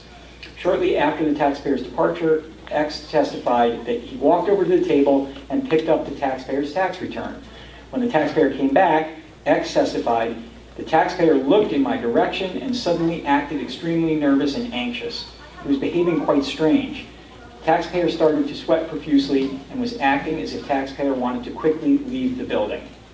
The taxpayer objects on the basis that the testimony contains improper opinion. What's the best response of the IRS and explain how the tax court should rule? Okay. So, improper opinion. What kind of opinion are we talking about? Is it expert or is it lay? It's lay opinion. Okay. Now, we can go back and we can look at the elements of getting in lay opinion. And let's look at those in connection with this question. Is the testimony rationally based on the witness's own perception? Yes. Why? Why? So hard to this guy is with. He saw how the guy reacted, right? He actually observed the taxpayer. The testimony is helpful to clear understanding of the witness's testimony or the determination of a fact and issue. Uh, It's certainly, uh, it's certainly helpful to a clear understanding of the taxpayer's credibility, for one thing, but we don't know actually how the taxpayer testified, but uh, one would think that this testimony would be somewhat relevant. Uh, And is it based on scientific, technical, or other specialized knowledge? No, what's it based on? Common sense, perception. I think somebody said common sense. Common sense and perception. Okay? So if you see somebody, you're holding somebody's tax return and they look at you like, oh my God, what are you doing? And start to shake and sweat, you know, people can draw conclusions from that and it's permissible as long as you meet these elements. Okay? So we'll go back to the question. Did that one. Okay, so the issue presented is the admissibility of opinion testimony. It's either expert or lay. You have to identify the fact that this is not expert opinion because it's not based on specialized knowledge, and there, obviously there's no compliance with the rule uh, 143G because there's no report. So then you switch to, is this lay opinion? Okay, it, it is lay opinion. Is it admissible? It's admissible if it's rationally based, helpful determination, and, and not based on specialized knowledge. Okay, so this question actually takes a little bit longer to answer uh, than some of those other ones I identified because you have to say that it's not expert opinion, that it is lay opinion, what the elements of lay opinion are, and whether or not it's admissible. Okay?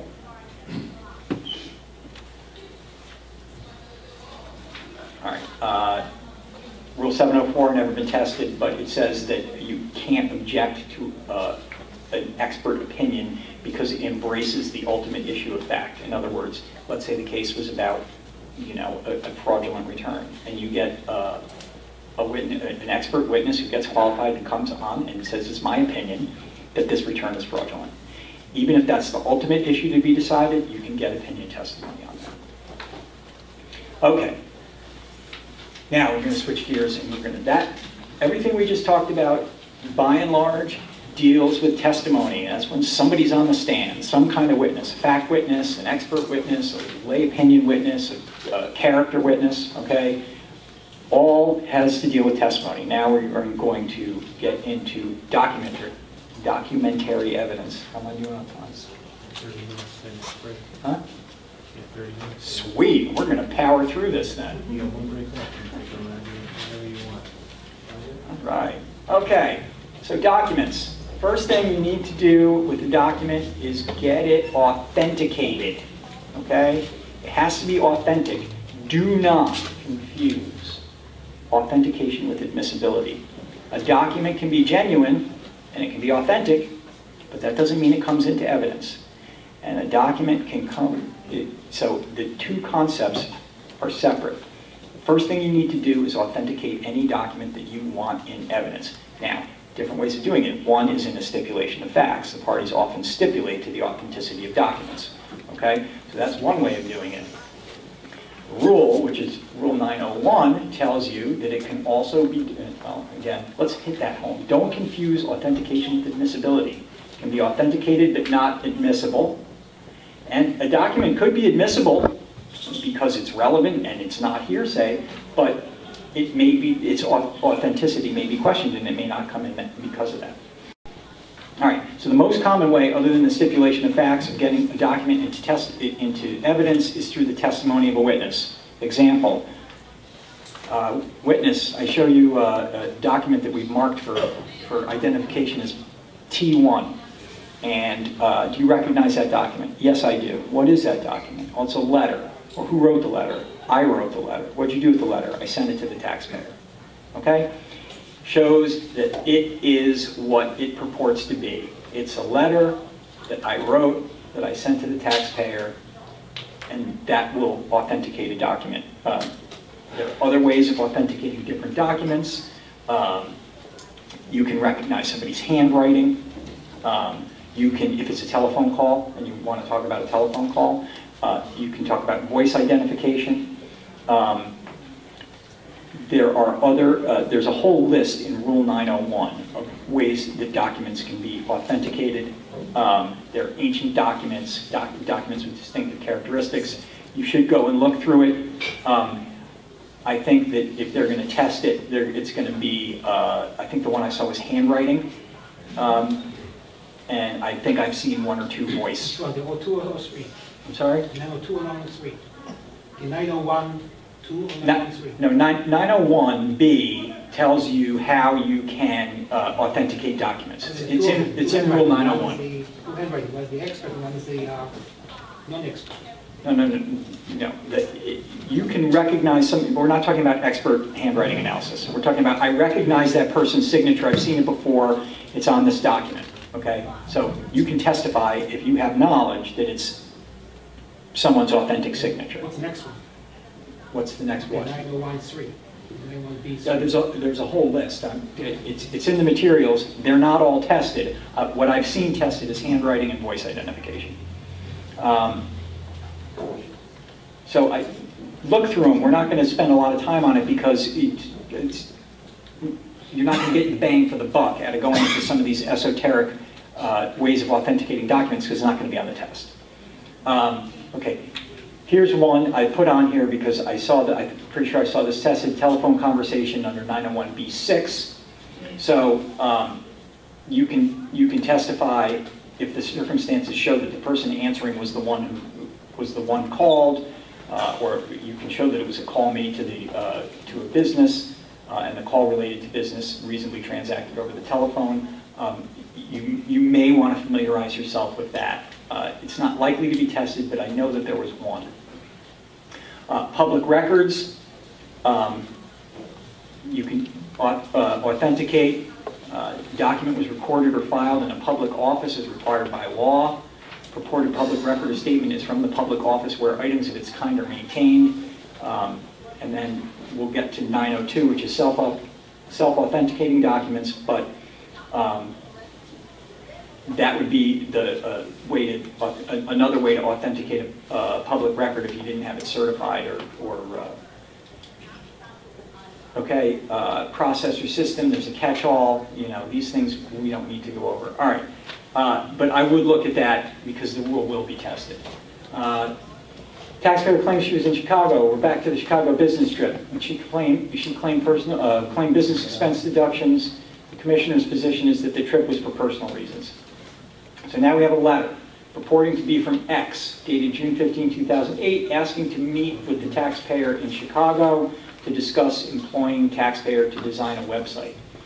Can the taxpayer authenticate this letter by testifying that she recognizes X's signature from prior business correspondence she had with X? Okay, so you have to authenticate the document. It implicates Rule 901. What are the methods of authentication under 901 that would be applicable to this? Well, somebody's going to have to testify, right? She's, she's on the stand, you're asking her about the documents. She is allowed to have an opinion on the handwriting on the document. Okay, I've seen that, I've, I've dealt with this person before, and that is her signature, okay? So that should authenticate the document, but do not be confused. I use that just for the authentication example. Just because it's authentic doesn't mean it's admissible. Because, as we're going to get to next time, that document is technically hearsay. It is a statement that was made by somebody who's not there, out of court, and- has no other guarantees of trustworthiness. So to get it actually into evidence, you have to show that there's either an exception to the hearsay rule or that for some reason it's not hearsay. But in terms of authenticating the document, showing that it is a letter from X to T, T, can- the taxpayer can testify, I've seen her handwriting before, that's her signature. Okay, self-authenticating documents, as the title So, is, can, can I just go back to the question, it said discuss? What if they had objected that on the grounds of hearsay, then it, then would have, okay, see, now, you're, you're, you're gonna, you're gonna put yourself into a spiral where you make a mistake. The question clearly says, can T authenticate this letter? It doesn't, it's not asking you whether it's admissible. It's only asking you about Rule 901. You start talking about hearsay, you're off the mark, you're wasting time, and you're not getting any credit for it, okay? So be careful, that's why I've been emphasizing a few times, don't confuse these two concepts. Don't confuse authentication with admissibility, okay? It can be authentic and not admissible, or it could be technically admissible, but you can't authenticate it. So um, they are exclusive, mutually exclusive, okay? So all you're discussing in response to this is how that letter can be authenticated, not how it's coming into evidence, okay? All right, so if you start talking about hearsay, you're on the wrong track when it says authenticate. And they definitely want to know that you know the difference between those two concepts. Okay, self-authenticating documents, oh, big surprise, they authenticate themselves. And there's a whole laundry list of self-authenticating documents. Uh, So for a self-authenticating document, no extrinsic evidence, in other words, none of this, you don't need any testimony, you don't need to say that's my letter, or I wrote it, or I heard their voice on the phone. No extrinsic evidence of authenticity is required in order to authenticate the document. Obviously, the document still has to be admissible if you want to get it into evidence. Here are some of the most common self-authenticating documents. Public or sealed or signed. Public documents that are not sealed, but they're signed and certified. I don't really know what the difference is between those two things, but if it's got a seal on it or a certification, it's probably going to be good enough to be self-authenticating. Certified copies of public records. We saw there's another way to get public records in, right? If they're not certified, they're self-authenticating if they are certified. So if you've got some public records you want to get in, you'd be well served to go down and get certified copies so you don't have to worry about authentication. Um, Documents acknowledged by a notary public or other officer authorized to take acknowledgements. Uh, And now this one, which is probably the one that's most likely to be tested, is uh, business records. Now, normally, well, to get business records in, right, you have to show the elements of getting a business record in. You can either do it through the, the testimony of a custodian of the record, maybe the taxpayer, it's their business, and they can testify how the records are kept, or you can make it self-authenticating by getting a certification from the custodian of records that basically sets forth the elements of the business record and says, yes, it's this, that, and the other thing. Do you have to give advance notice uh, and to um, make it available to your adverse party, and they have to have a fair opportunity to challenge the certification. Uh, But, so business records, you can get them in through testimony, or they can be self-authenticated. Public records, the same thing. You can show that they came from the right place, and that's where they, the office that they're kept. Or you can get a certified copy, okay? Assume a printout from taxpayers' receipt organization software should qualify as a business record. Could any part of the foundation for authenticating the printout be done by affidavit? Explain. Yes, no? Yes. Yeah, we just talked about it, right? I can get a certification of the custodian that says exactly the same thing as I would have a custodian testify to live at trial, and it becomes self-authenticating.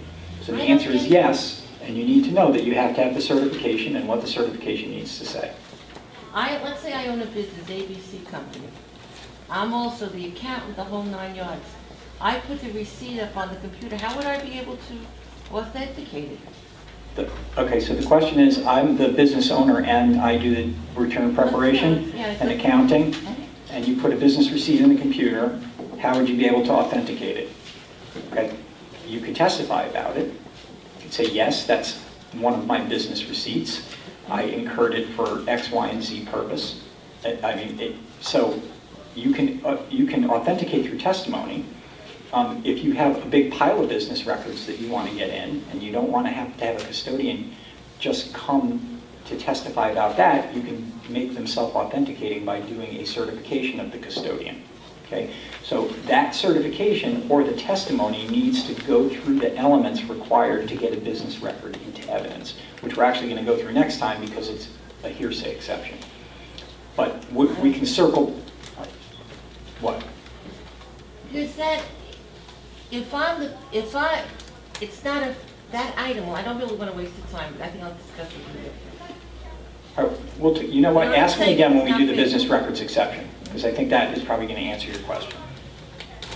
Okay, so the answer to this is, yes, part of it can be done by an affidavit or a certification of the custodian, and, you know, familiarize yourself with this part of Rule 902, uh, and you're definitely going to familiarize yourself with the business records exception, because that is going to be on the test, or it's almost always on the test.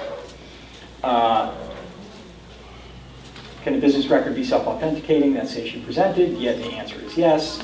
You need a copy of the record. It has to qualify for the business record exception, which we'll go over next time again. It- There has to be a certification of the custodian and notice to your adverse party, okay?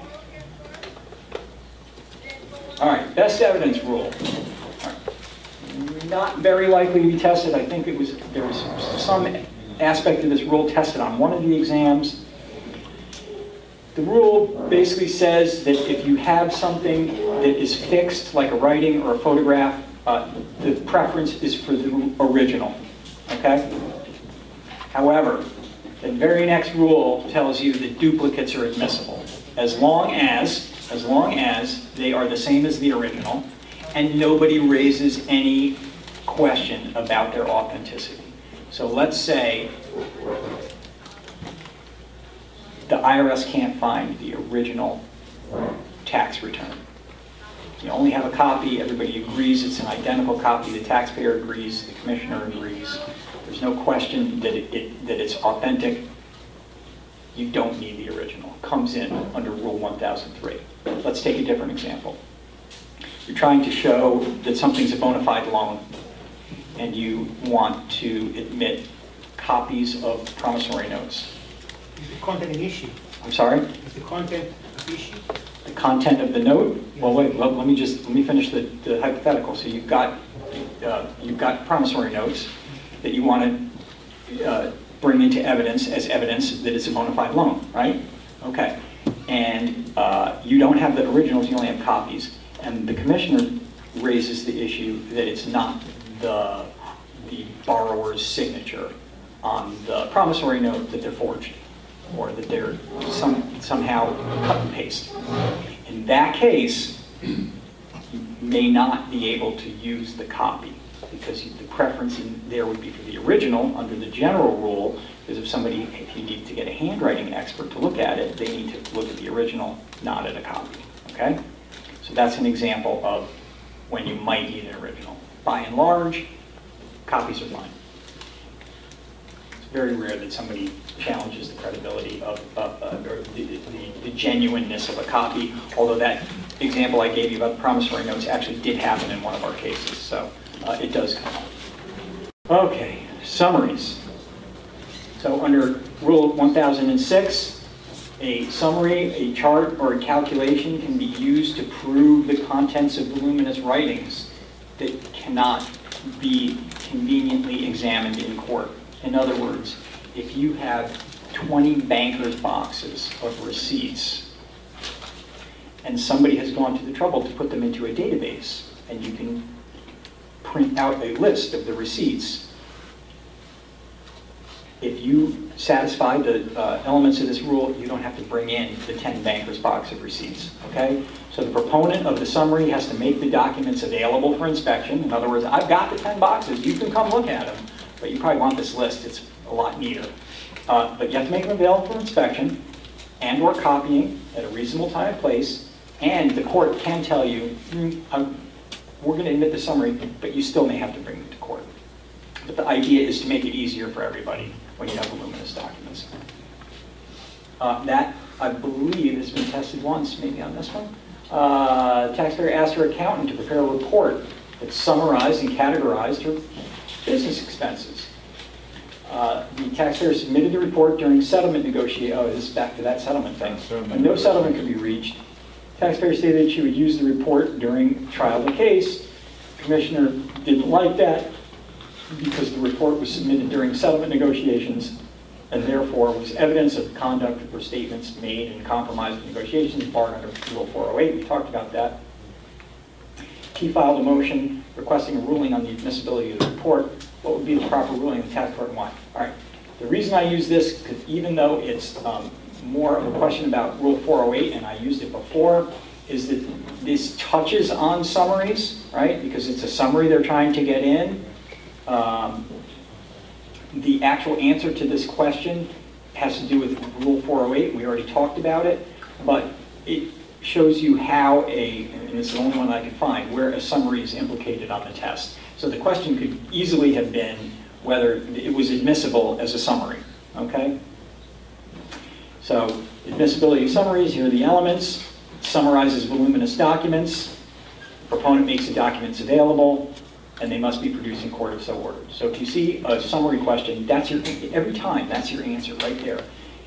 Summaries are admissible under Rule 1006. Here are the three elements, and then you take the facts and the question and apply them to that to get to your conclusion, which is, you know, oh, yeah, it says, it said, the, the question says uh, 10, 10 boxes of receipts. It summarizes the receipts. Uh, the question says that um, the proponent, the taxpayer, let's say, uh, made the documents available. They sent a letter to the commissioner and said, come on over anytime you want. You can take a look at them or copy them. As a foundation, do the uh, underlying documents have to be authenticated? The question is whether the underlying documents have to be authenticated. The answer is no. They, the court can require you to bring them in court, and you can go through them one by one, but the whole point is not to have to do that. If I had 10,000 receipts, and I had to introduce them into evidence one by one and get them authenticated, it would take weeks just to do that, okay? So that's part of the reason for this rule. Um, And that's, so if that were the question, if that were the way the question was geared, whether the summary was admissible, there's your answer. And practically speaking, the tax court should rule in favor of the taxpayer. She could, ultimately, like I said, you could, you could stand there and get every receipt. Yeah, that's my receipt. Uh, What was it for? Uh, That's for car rental. Uh, And what date? Uh, Blah, blah, blah. And you can do that for every single receipt. You got 10,000 receipts. You can have 100 receipts. It Takes forever. But how do you know if it's the real receipt? the opposing party, that's why the rule makes clear that you have to make the documents available for inspection or copying. So the opposing party has the opportunity to come in and look at the documents and then come back and say, I don't think these are the real receipts. If they don't do that, then you can get them in because the- their authenticity has not been challenged and the, kind of the goal of the rule is satisfied. So it's a, you know, it's a two-party process. The, you- your opposing party can come in and look at them. And what the, what the rule is saying is they come in and look at them. If they don't challenge them, we're going to let them in. But the challenge it'll be the IRS in this situation. It might be, or the IRS might compile a summary of something and you want to inspect their documents. But that's not, that's not going to be on the test. What's going to be on the test is this. When is a summary admissible? This is when a summary is admissible. Okay? I know I, well, I'm not gonna read my letter.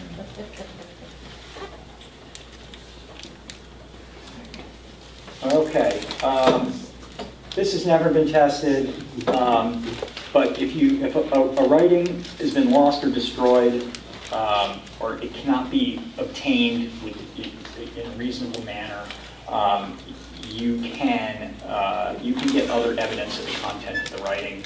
It's not gonna be on there. Can be done by testimony. Uh, I, I, I I just encourage you to read through this in the outline, because I really don't think it's going to be on the exam. This has been on the exam several times. Um, 10 minutes. I'm almost done. Huh? Yeah, I know. Uh, Okay, so uh, claims of error. I put this at the end because it sort of belongs at the end, even though it comes at the beginning of the federal rules of evidence. What do you do if you're in a trial and you try to get something either put into evidence or kept out of evidence and the judge rules against you and you want to preserve that for appeal. Rule 103, and it has been tested, okay? If it's testimonial evidence, in other words, got a witness on the stand, and they're testifying, you say, objection, judge, that calls for hearsay. And the judge says, I'm, I'm sorry, I don't agree, it's overruled, I'm going to allow the testimony in. Um, you have to object before the question is answered, which you did, or move to strike after the answer is given, but you, generally you're going to object first. Okay? That's for testimonial evidence, for documentary or other hard evidence, like uh, objection must be made at the time it's offered into evidence. So when the other party says, Judge, I got this whatever letter I want to offer into evidence, object, objection, Judge, we don't think that should come in, it's hearsay. Judge says, "Oh, yeah, I'm sorry, I don't agree with you, I'm going to let it in anyway. Okay, so you have to object. Objection should be made with specificity. You should tell the court on the record why you are objecting, not just I object. Why? Judge, I object because it's hearsay. Judge, I object because it's improper impeachment. Judge, I object because whatever the basis is. So state that with specificity, unless it's readily apparent from the context. Um, normally, you can say, judge, objection, hearsay, and that'll cover you. Uh, now, if the court's ruling excludes evidence you're trying to get in, you have to do what's called an offer of proof. Okay? So you have to say, Judge, I want to make an offer of proof. What an offer of proof means is you're going to tell the judge what the evidence that he just excluded would have said. So let's say it's testimony. Judge, I'd like to make an offer of proof. Go ahead. Well, if Mr. X were permitted to testify, he would have testified that A, B, and C happened. Good. If it's a document, Judge, I'd like to get this letter in. Nope, not going to let it in. Okay, Judge, I'd like to make an offer of proof. If admitted, this letter would have told you that X, Y, and Z happened. Okay? And you need to do that to preserve your claim of error. Um, and you need to know it because I think it's been on almost half, maybe more than half the tests from 2006. So um, let's look at a question. Uh, oh, no, not yet. Okay. Once the court definitively rules on the record, you don't need to renew your objection. So let's say you made a motion before trial, motion in limine, to either exclude or include evidence, and the court ruled on it. You don't have to raise it again, although it probably is good practice to do so. Question? is, what is the definition of this term in limine? In limine technically means in advance. The question is, what is in limine? Uh, a motion in limine is a motion that is generally made regarding evidence in advance of trial. Okay, so, Judge, I've got this piece of evidence. I'm telling you right now, it's got a problem. Here's what the problem is. We think you should let it in. We need to know in advance. Okay? So that's what a motion in limine is. Um, all right, and so once the court definitively rules on the record, you don't need to renew your objection. Um, okay, I guess I use the same example. It makes a motion before trial to have the evidence admitted, and then the motion makes an offer of proof. So you've covered it. You basically said this should come in. Here's my offer of proof. The court rules the evidence is not admissible. You don't have to make another offer during the trial. It's already, it's already preserved. Um, The court can make any statement on the record regarding the evidence, your objection and the ruling, okay? So the judge can say, I, you know, I'm letting it in because uh, I don't think it's hearsay because, uh, you know, this exception applies. Uh, And the court may direct a party to make an offer of proof in question and answer forms. In other words, especially if it's testimony, you can sort of do like a little Q and A. This is what would have happened, judge. Question, answer, question, answer. Or the judge can question um, the proponent of the, uh, of the evidence. Uh, Plain error, uh, which affects a substantial right of a party, uh, even where no claim of error was properly preserved, if it's plain error, is not going to be on the test, then you don't have to worry about making an offer of proof or preserving. Okay. Taxpayer calls her secretary to testify to certain conversations. Before S can answer, the tax court sustains the commissioner's objection to the question. Taxpayer disagrees with the ruling. At the conclusion of the trial, the tax court decides the case in favor of the commissioner and taxpayer appeals. To preserve for appeal the tax court's alleged error in rejecting the evidence, what must I, meaning the taxpayer's attorney, have done at the time the objection was sustained? describes specifically what T must have done. Okay, the rule tells you exactly, and you should memorize it, what you have to do.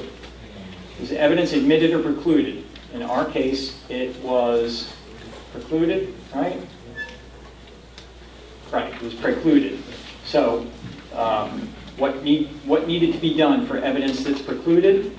Okay, there was a, there was a timely objection. The objection was made by the adversary. Judge said, no, I'm not going to let your evidence in. Judge, I need to make an offer of proof. Okay, offer of proof. So you got your two circumstances. Evidence coming in that you don't want in, evidence staying out that you do want in. If it's coming in, you object, state the grounds.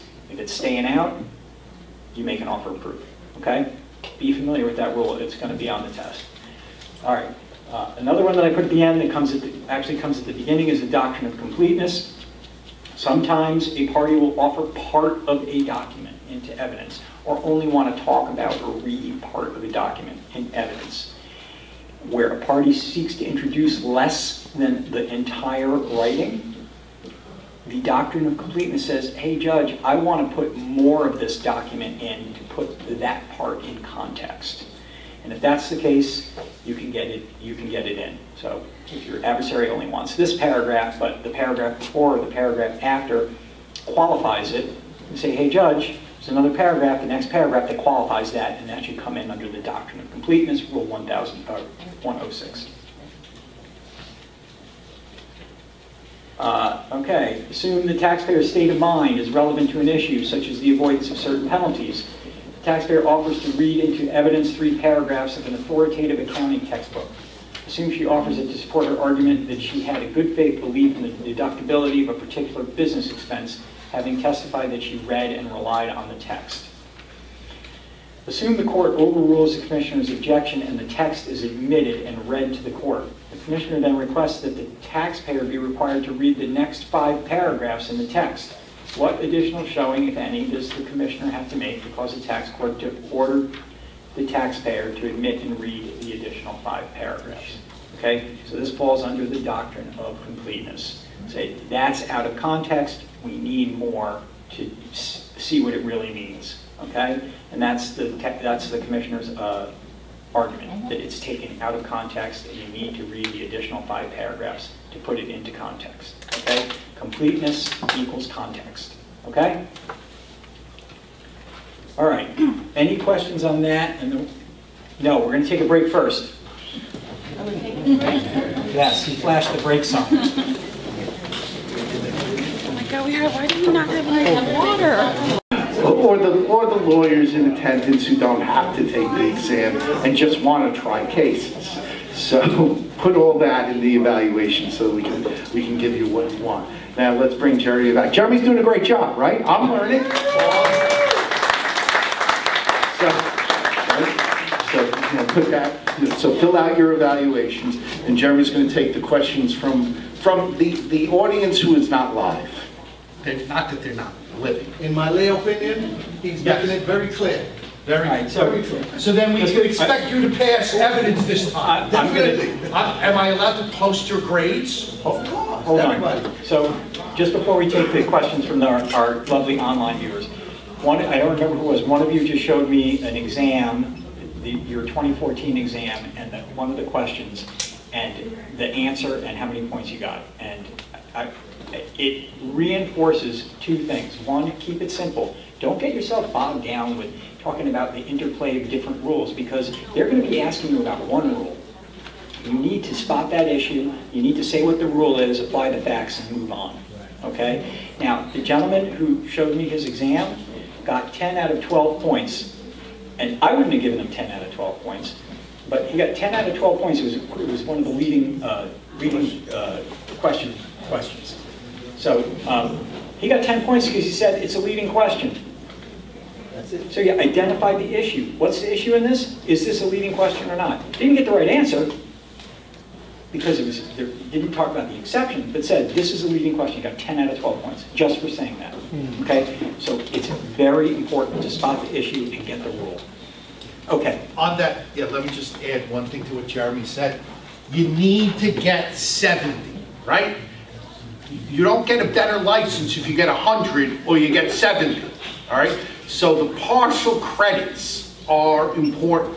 We've, I've gone over, you know, all of the exams for people who sent it to me who did not pass last time. The two things, Jeremy told you one, keep it simple. Two, if- if- instead of writing a lot, just cite to the rule. I saw lots of full credits on people whose answers were very short but cited the right code section or cited the right rule, or people who worked on the table of contents method, right? They didn't have time to write the full answer, but on the tax court rules, they went through the table of contents and cited the first rule that was appropriate for each question, then went in and backfilled the answers, right? So in terms of test taking, take advantage of your tables of contents and going quickly as opposed to getting your stuff bogged down in the answers, right? Because you gotta finish the exam. A lot of you on the practice exams, I can see that that's a challenge for everybody. So we gotta improve speed, and one of the ways that I saw on the practice exams was the table of contents method. Go through all of your procedure questions and write the applicable tax court rule, then go back and backfill your answer. Uh, Same thing on evidence, but let's go now to the questions. Jeff's going to, Jeff's to tell us what our online uh, participants would like to know. Okay. This is from a question, 2010 E3, judicial notice of a website. Can the court take judicial notice of a website? And would the website be self, au- self-authenticating? Okay, so um, I assume they heard you ask the question on the... Yeah. There. Okay. So can a court take judicial notice of a website? The- This, the simple answer is yes. A a court can take judicial notice of a website. However, the reason that the court is taking judicial notice, or whatever the evidence is on the website, it still has to comply with 201. So in other words, if we go back, and I'll tell you that, I know you guys have to do it, but I get to use the book. And I, I don't know, some of you noticed, I brought the rule book with me. When I go to trial, this book is the first thing that goes on counsel table, okay? Because it has all the rules in it, and quite frankly, I don't remember them all anymore. I know they exist, I know where to find them, and they let me read the book. Unfortunately, you guys got to do a little bit more memorization. But Rule 201, judicial notice, you can get facts to- accepted as true without formal proof if it's generally known within the court's territorial jurisdiction. So it kind of depends what's on the website. If it's a calendar website, then it's, it's gonna work. If it's the weather, and they record the weather, like weather.com, and you wanna know what the weather was on a certain date, yeah, you could probably take judicial notice of that website. But if you have some esoteric website that has some information on it that you're just trying to fly under the radar because it happens to be on the internet, you're not getting that in. Um, Just remember, do you believe everything you read on the internet? Yes. Yes, absolutely. No. On the internet, it's true. So when you're That's deciding, Jeremy's telling you, you know, it's gotta be, you know, within the territorial jurisdiction. Is everything you read on the internet true? So when you're talking about judicial notice, think about common sense. Would a court rely on it? Here- Here's ano- another example of where a court may take judicial notice. You wanted uh, the historical quote of a security, and it was available online. You know, date we talked about, weather, that's a good one, that not not necessarily for tax court, but in a lot of cases, slip and fall cases, for example. Uh, Somebody says it rained, it was raining, and somebody else says it wasn't raining.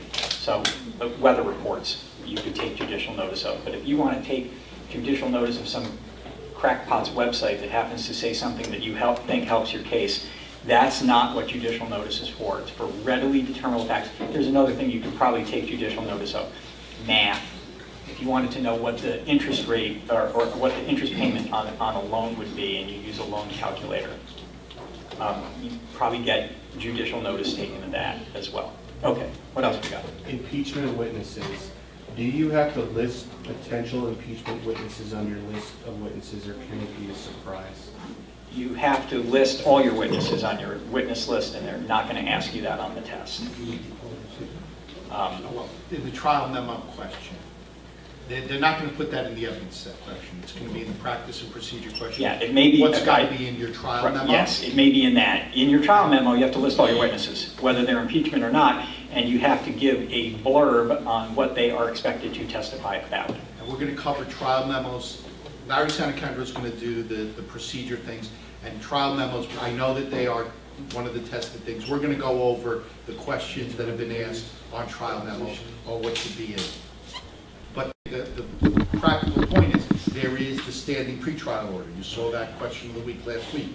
What's gotta be in the trial memo is what's gonna, what is required in the standing pretrial order. All right. Does anybody in here have any questions about any specific rules we talked about today, test-taking techniques, or any of the questions that we went over? Okay.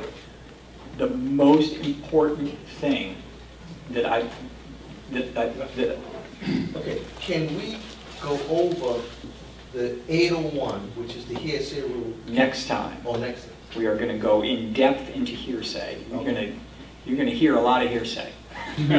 Um, So I tried to emphasize some of what I think are more important points for test taking. Um, I, I can't say it enough times. Keep it simple. They're only generally asking you about one thing. You just have to identify what it is and show them that you know the rule. I don't care how well or poorly you apply the facts. Like I said, 10 out of 12 just for writing leading question. That's going to get you a 70, okay? Um, please go through this outline. And the parts that I highlighted where I said, don't confuse this rule and that rule, that's where people get confused and get the wrong answer on the test. So don't confuse authentication and admissibility, okay? That happens a lot. When you see that word, authenticate, think Rule 901 or Rule 902, okay? So you're, I gotta get it in or I gotta have it self-authenticated self-authenticated. Don't start talking about hearsay on, on an authentication question, okay? And then the other rules where I, you know, the, the impeachment rules, don't confuse criminal convictions with the other methods of impeachment. They're separate, and you have to know the rule for that, and make sure that you satisfy the rule, or else you're not gonna get your evidence in. So it's important to go back. I would, if it were me, I would rely more on the, the PowerPoint as my outline for test taking. If there's something that you really want to know or you want to get more in depth, the written outline can, covers considerably more than we talked about today and more than we'll talk about uh, next time because I'm going to narrow the hearsay to the exceptions that are commonly tested. We, among the material we've sent you are the questions that have been asked from 2004 forward by rule of evidence. There are, if you see, lots of repeats. My recommendation for study, for people who want to study to the next class, take a practice exam, right? Just on the rules of evidence. Don't take the whole practice exam. Do the rules of evidence. Then, on the questions you get wrong, right? You've got answer grids from me for most of the years. On the ones you get wrong, or I will grade your practice exam. Do all of the questions that have been asked from 2004 forward on that rule of evidence that you got wrong. If, if at the end of that process, you're not passing it, then we're gonna have to have some more intense, you know, tutoring. But if you, you take the practice evidence exam, right, then focus on the ones that we get wrong, you will get your grades up. I- Those of you who took the practice exams, right, there was a big improvement from the people who took the first year practice exam and now the second practice exam, right? You know, if you started at 50 and now at this second practice exam, you're at 60, by the next practice exam, we're gonna get you to 70. You don't even have to take the next two after that. Uh, But the, the goal, right, what I'm seeing, the two things we need to work on is speed, getting the section done within the time. And Jeremy told you, the most, the key there is keep it simple. So you see, when, when you go back through and you see all the, you know, I, I- I showed, you- we went over the rule, we had a sample question, and I showed you what the issues present, and I used bullet points most of the time. And the first thing that each one of those slides said was issue presented. What's the issue? And then the bullet points follow very, very uh, easily after that. Once you know the issue and you say, Leading question, to use that again as an example, you say, oh, that's a leading question. What rule is that? Oh, that's rule 611 or 613, because I don't even remember the numbers. And, and that, what does that, and what is that, and what does that rule say? It says no leading questions on direct. I may not know the number, but I know what it says. No leading questions on direct. Are there any exceptions? Oh, yeah, there's an exception for background. And boom, you've got your bullet points, you've got your issue, you've got your rule, and you've got your exception. You just answered the question. Even that if you're question- wrong, even if, even if it should have been admitted and it, or should have been allowed and it wasn't, or wasn't allowed and it should have been, you, you're gonna get 10 or 11 out of 12. And order and mode is one of those repeat questions, right? That's why I said, I sent you guys a chart, two charts actually. One is of all of the questions by the years, that, by rule, right? So it tells you, like, what questions have been asked more than three times in the last five exams, right? Then the other chart I sent was all of the questions by rule. So take a practice exam, said, you want to fax it or email it to me, I will grade it. Then focus on the ones you got wrong. And then hopefully by the next class, you'll feel like you really mastered evidence. I mean, we're going to have, like for the next set of practice exams, we're going to try to do some mock trials based on the questions for those of you who are taking the practice exams.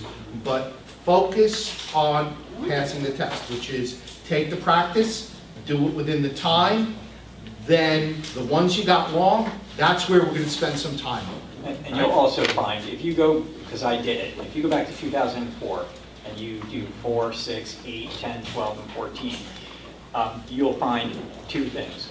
The first thing you'll find is that they recycle some of the fact patterns and- and, and the questions. And if you see it come up again, you, you're halfway home. The other thing you'll see that I don't know um, whether it's just the evidence section or the exam as a whole, the evidence questions changed on the 2014 exam. So prior to 2014, they would give you a fact pattern, and then they would have question E1, A, B, C, and they would break out these different things. So they didn't do that in 2014. They- Each question was its own E1, 2, 3. There were no subparts, and, and quite frankly, each question itself contained the information you needed for the answer. You didn't need anything. You didn't even need to. You, I, in fact, when I did the 2014 exam, I didn't even read the facts of the case because it was totally irrelevant.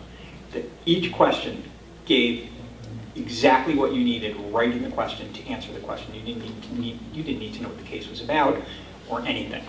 Um, so I don't know if that's going to continue for 2016. My guess is that it will because they changed the style of how they ask the questions.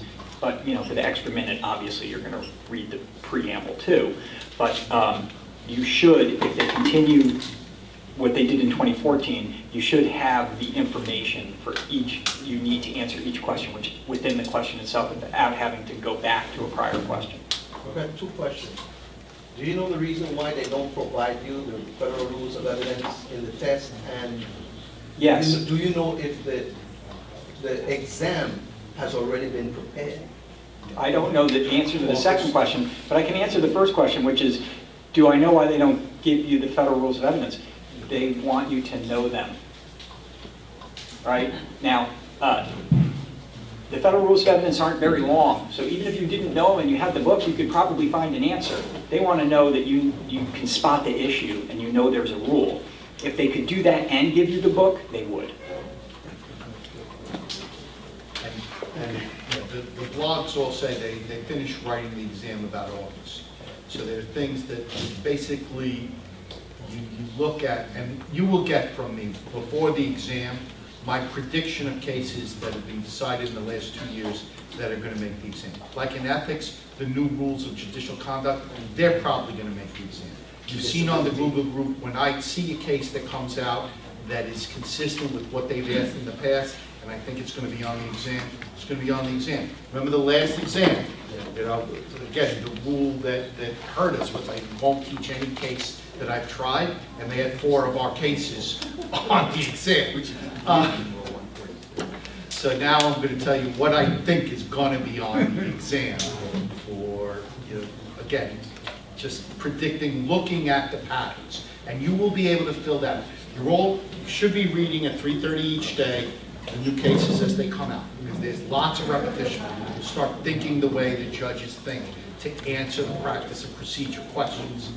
Um, And then we're gonna give you what the predictions are. You know, the cases, they like cases on jurisdiction, right? They like cases on Rule 24G in the ethics section, where where somebody's been sanctioned. So there, there are patterns on how the judges and the individual judges write their question, right? Each year, a judge supervises and then assigns it to their clerks to write. So if you, can- if anybody can get inside information on what judge got this year's assignment, you can predict which exams, which cases are gonna be on the exam. All right, We we had one more, we had one more question from our uh, online uh, viewers, and that question was, are we going to go over the changes to the federal rules of evidence? I think what that question really was, was are we going to go over the change to the tax court rule 143? So I, I went over this a little bit at the beginning. The bottom line is, Rule 143 says the federal rules of evidence apply in the U.S. tax court prior to the change, which was in March, the rule was written that said the rules of evidence that apply in the tax court are the same rules that apply in the United States District Court for the District of Columbia. That's the federal rules of evidence. There are some nuances, you don't need to know them, of, of why it might be a little bit different, but practically speaking, it's no different at all. The tax court has been following the federal rules of evidence and will continue to follow them. Um, It makes the rule a lot easier to read and make more sense, and that's good. And it didn't change the answer to any of the past questions, No. right? We Yes. sent you the procedurally taxing article on the Google group. We sent you the procedurally taxing article that summarizes the changes.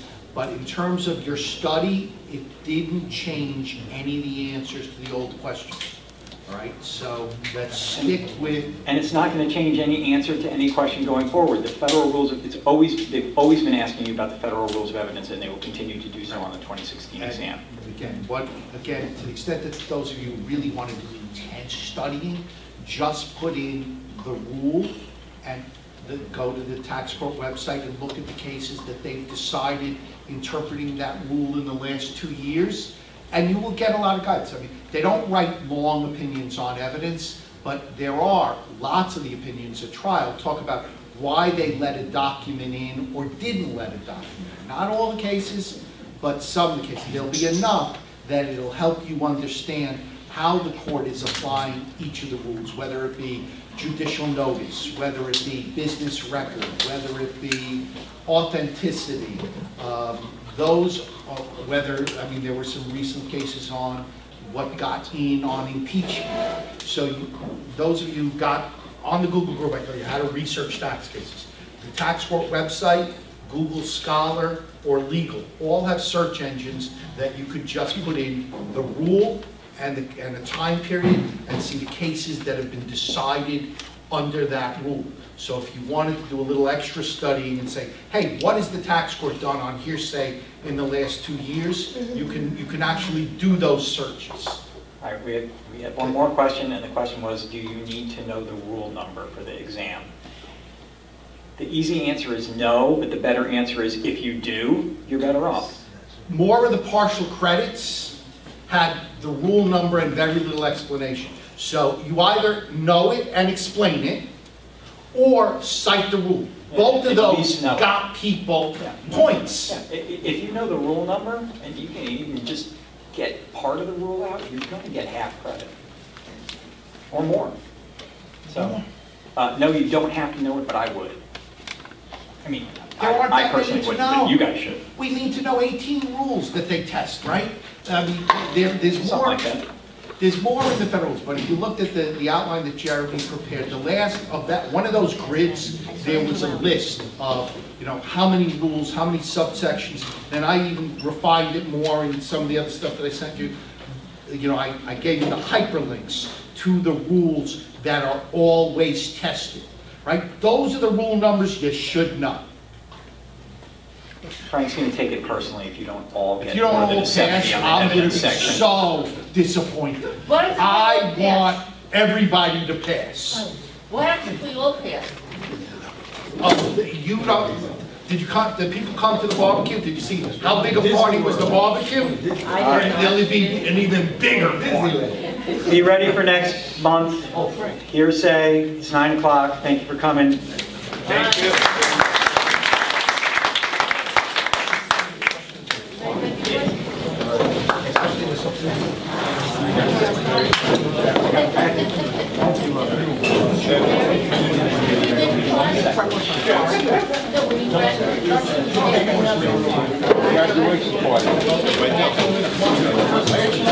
Yes, sir. Safe ride.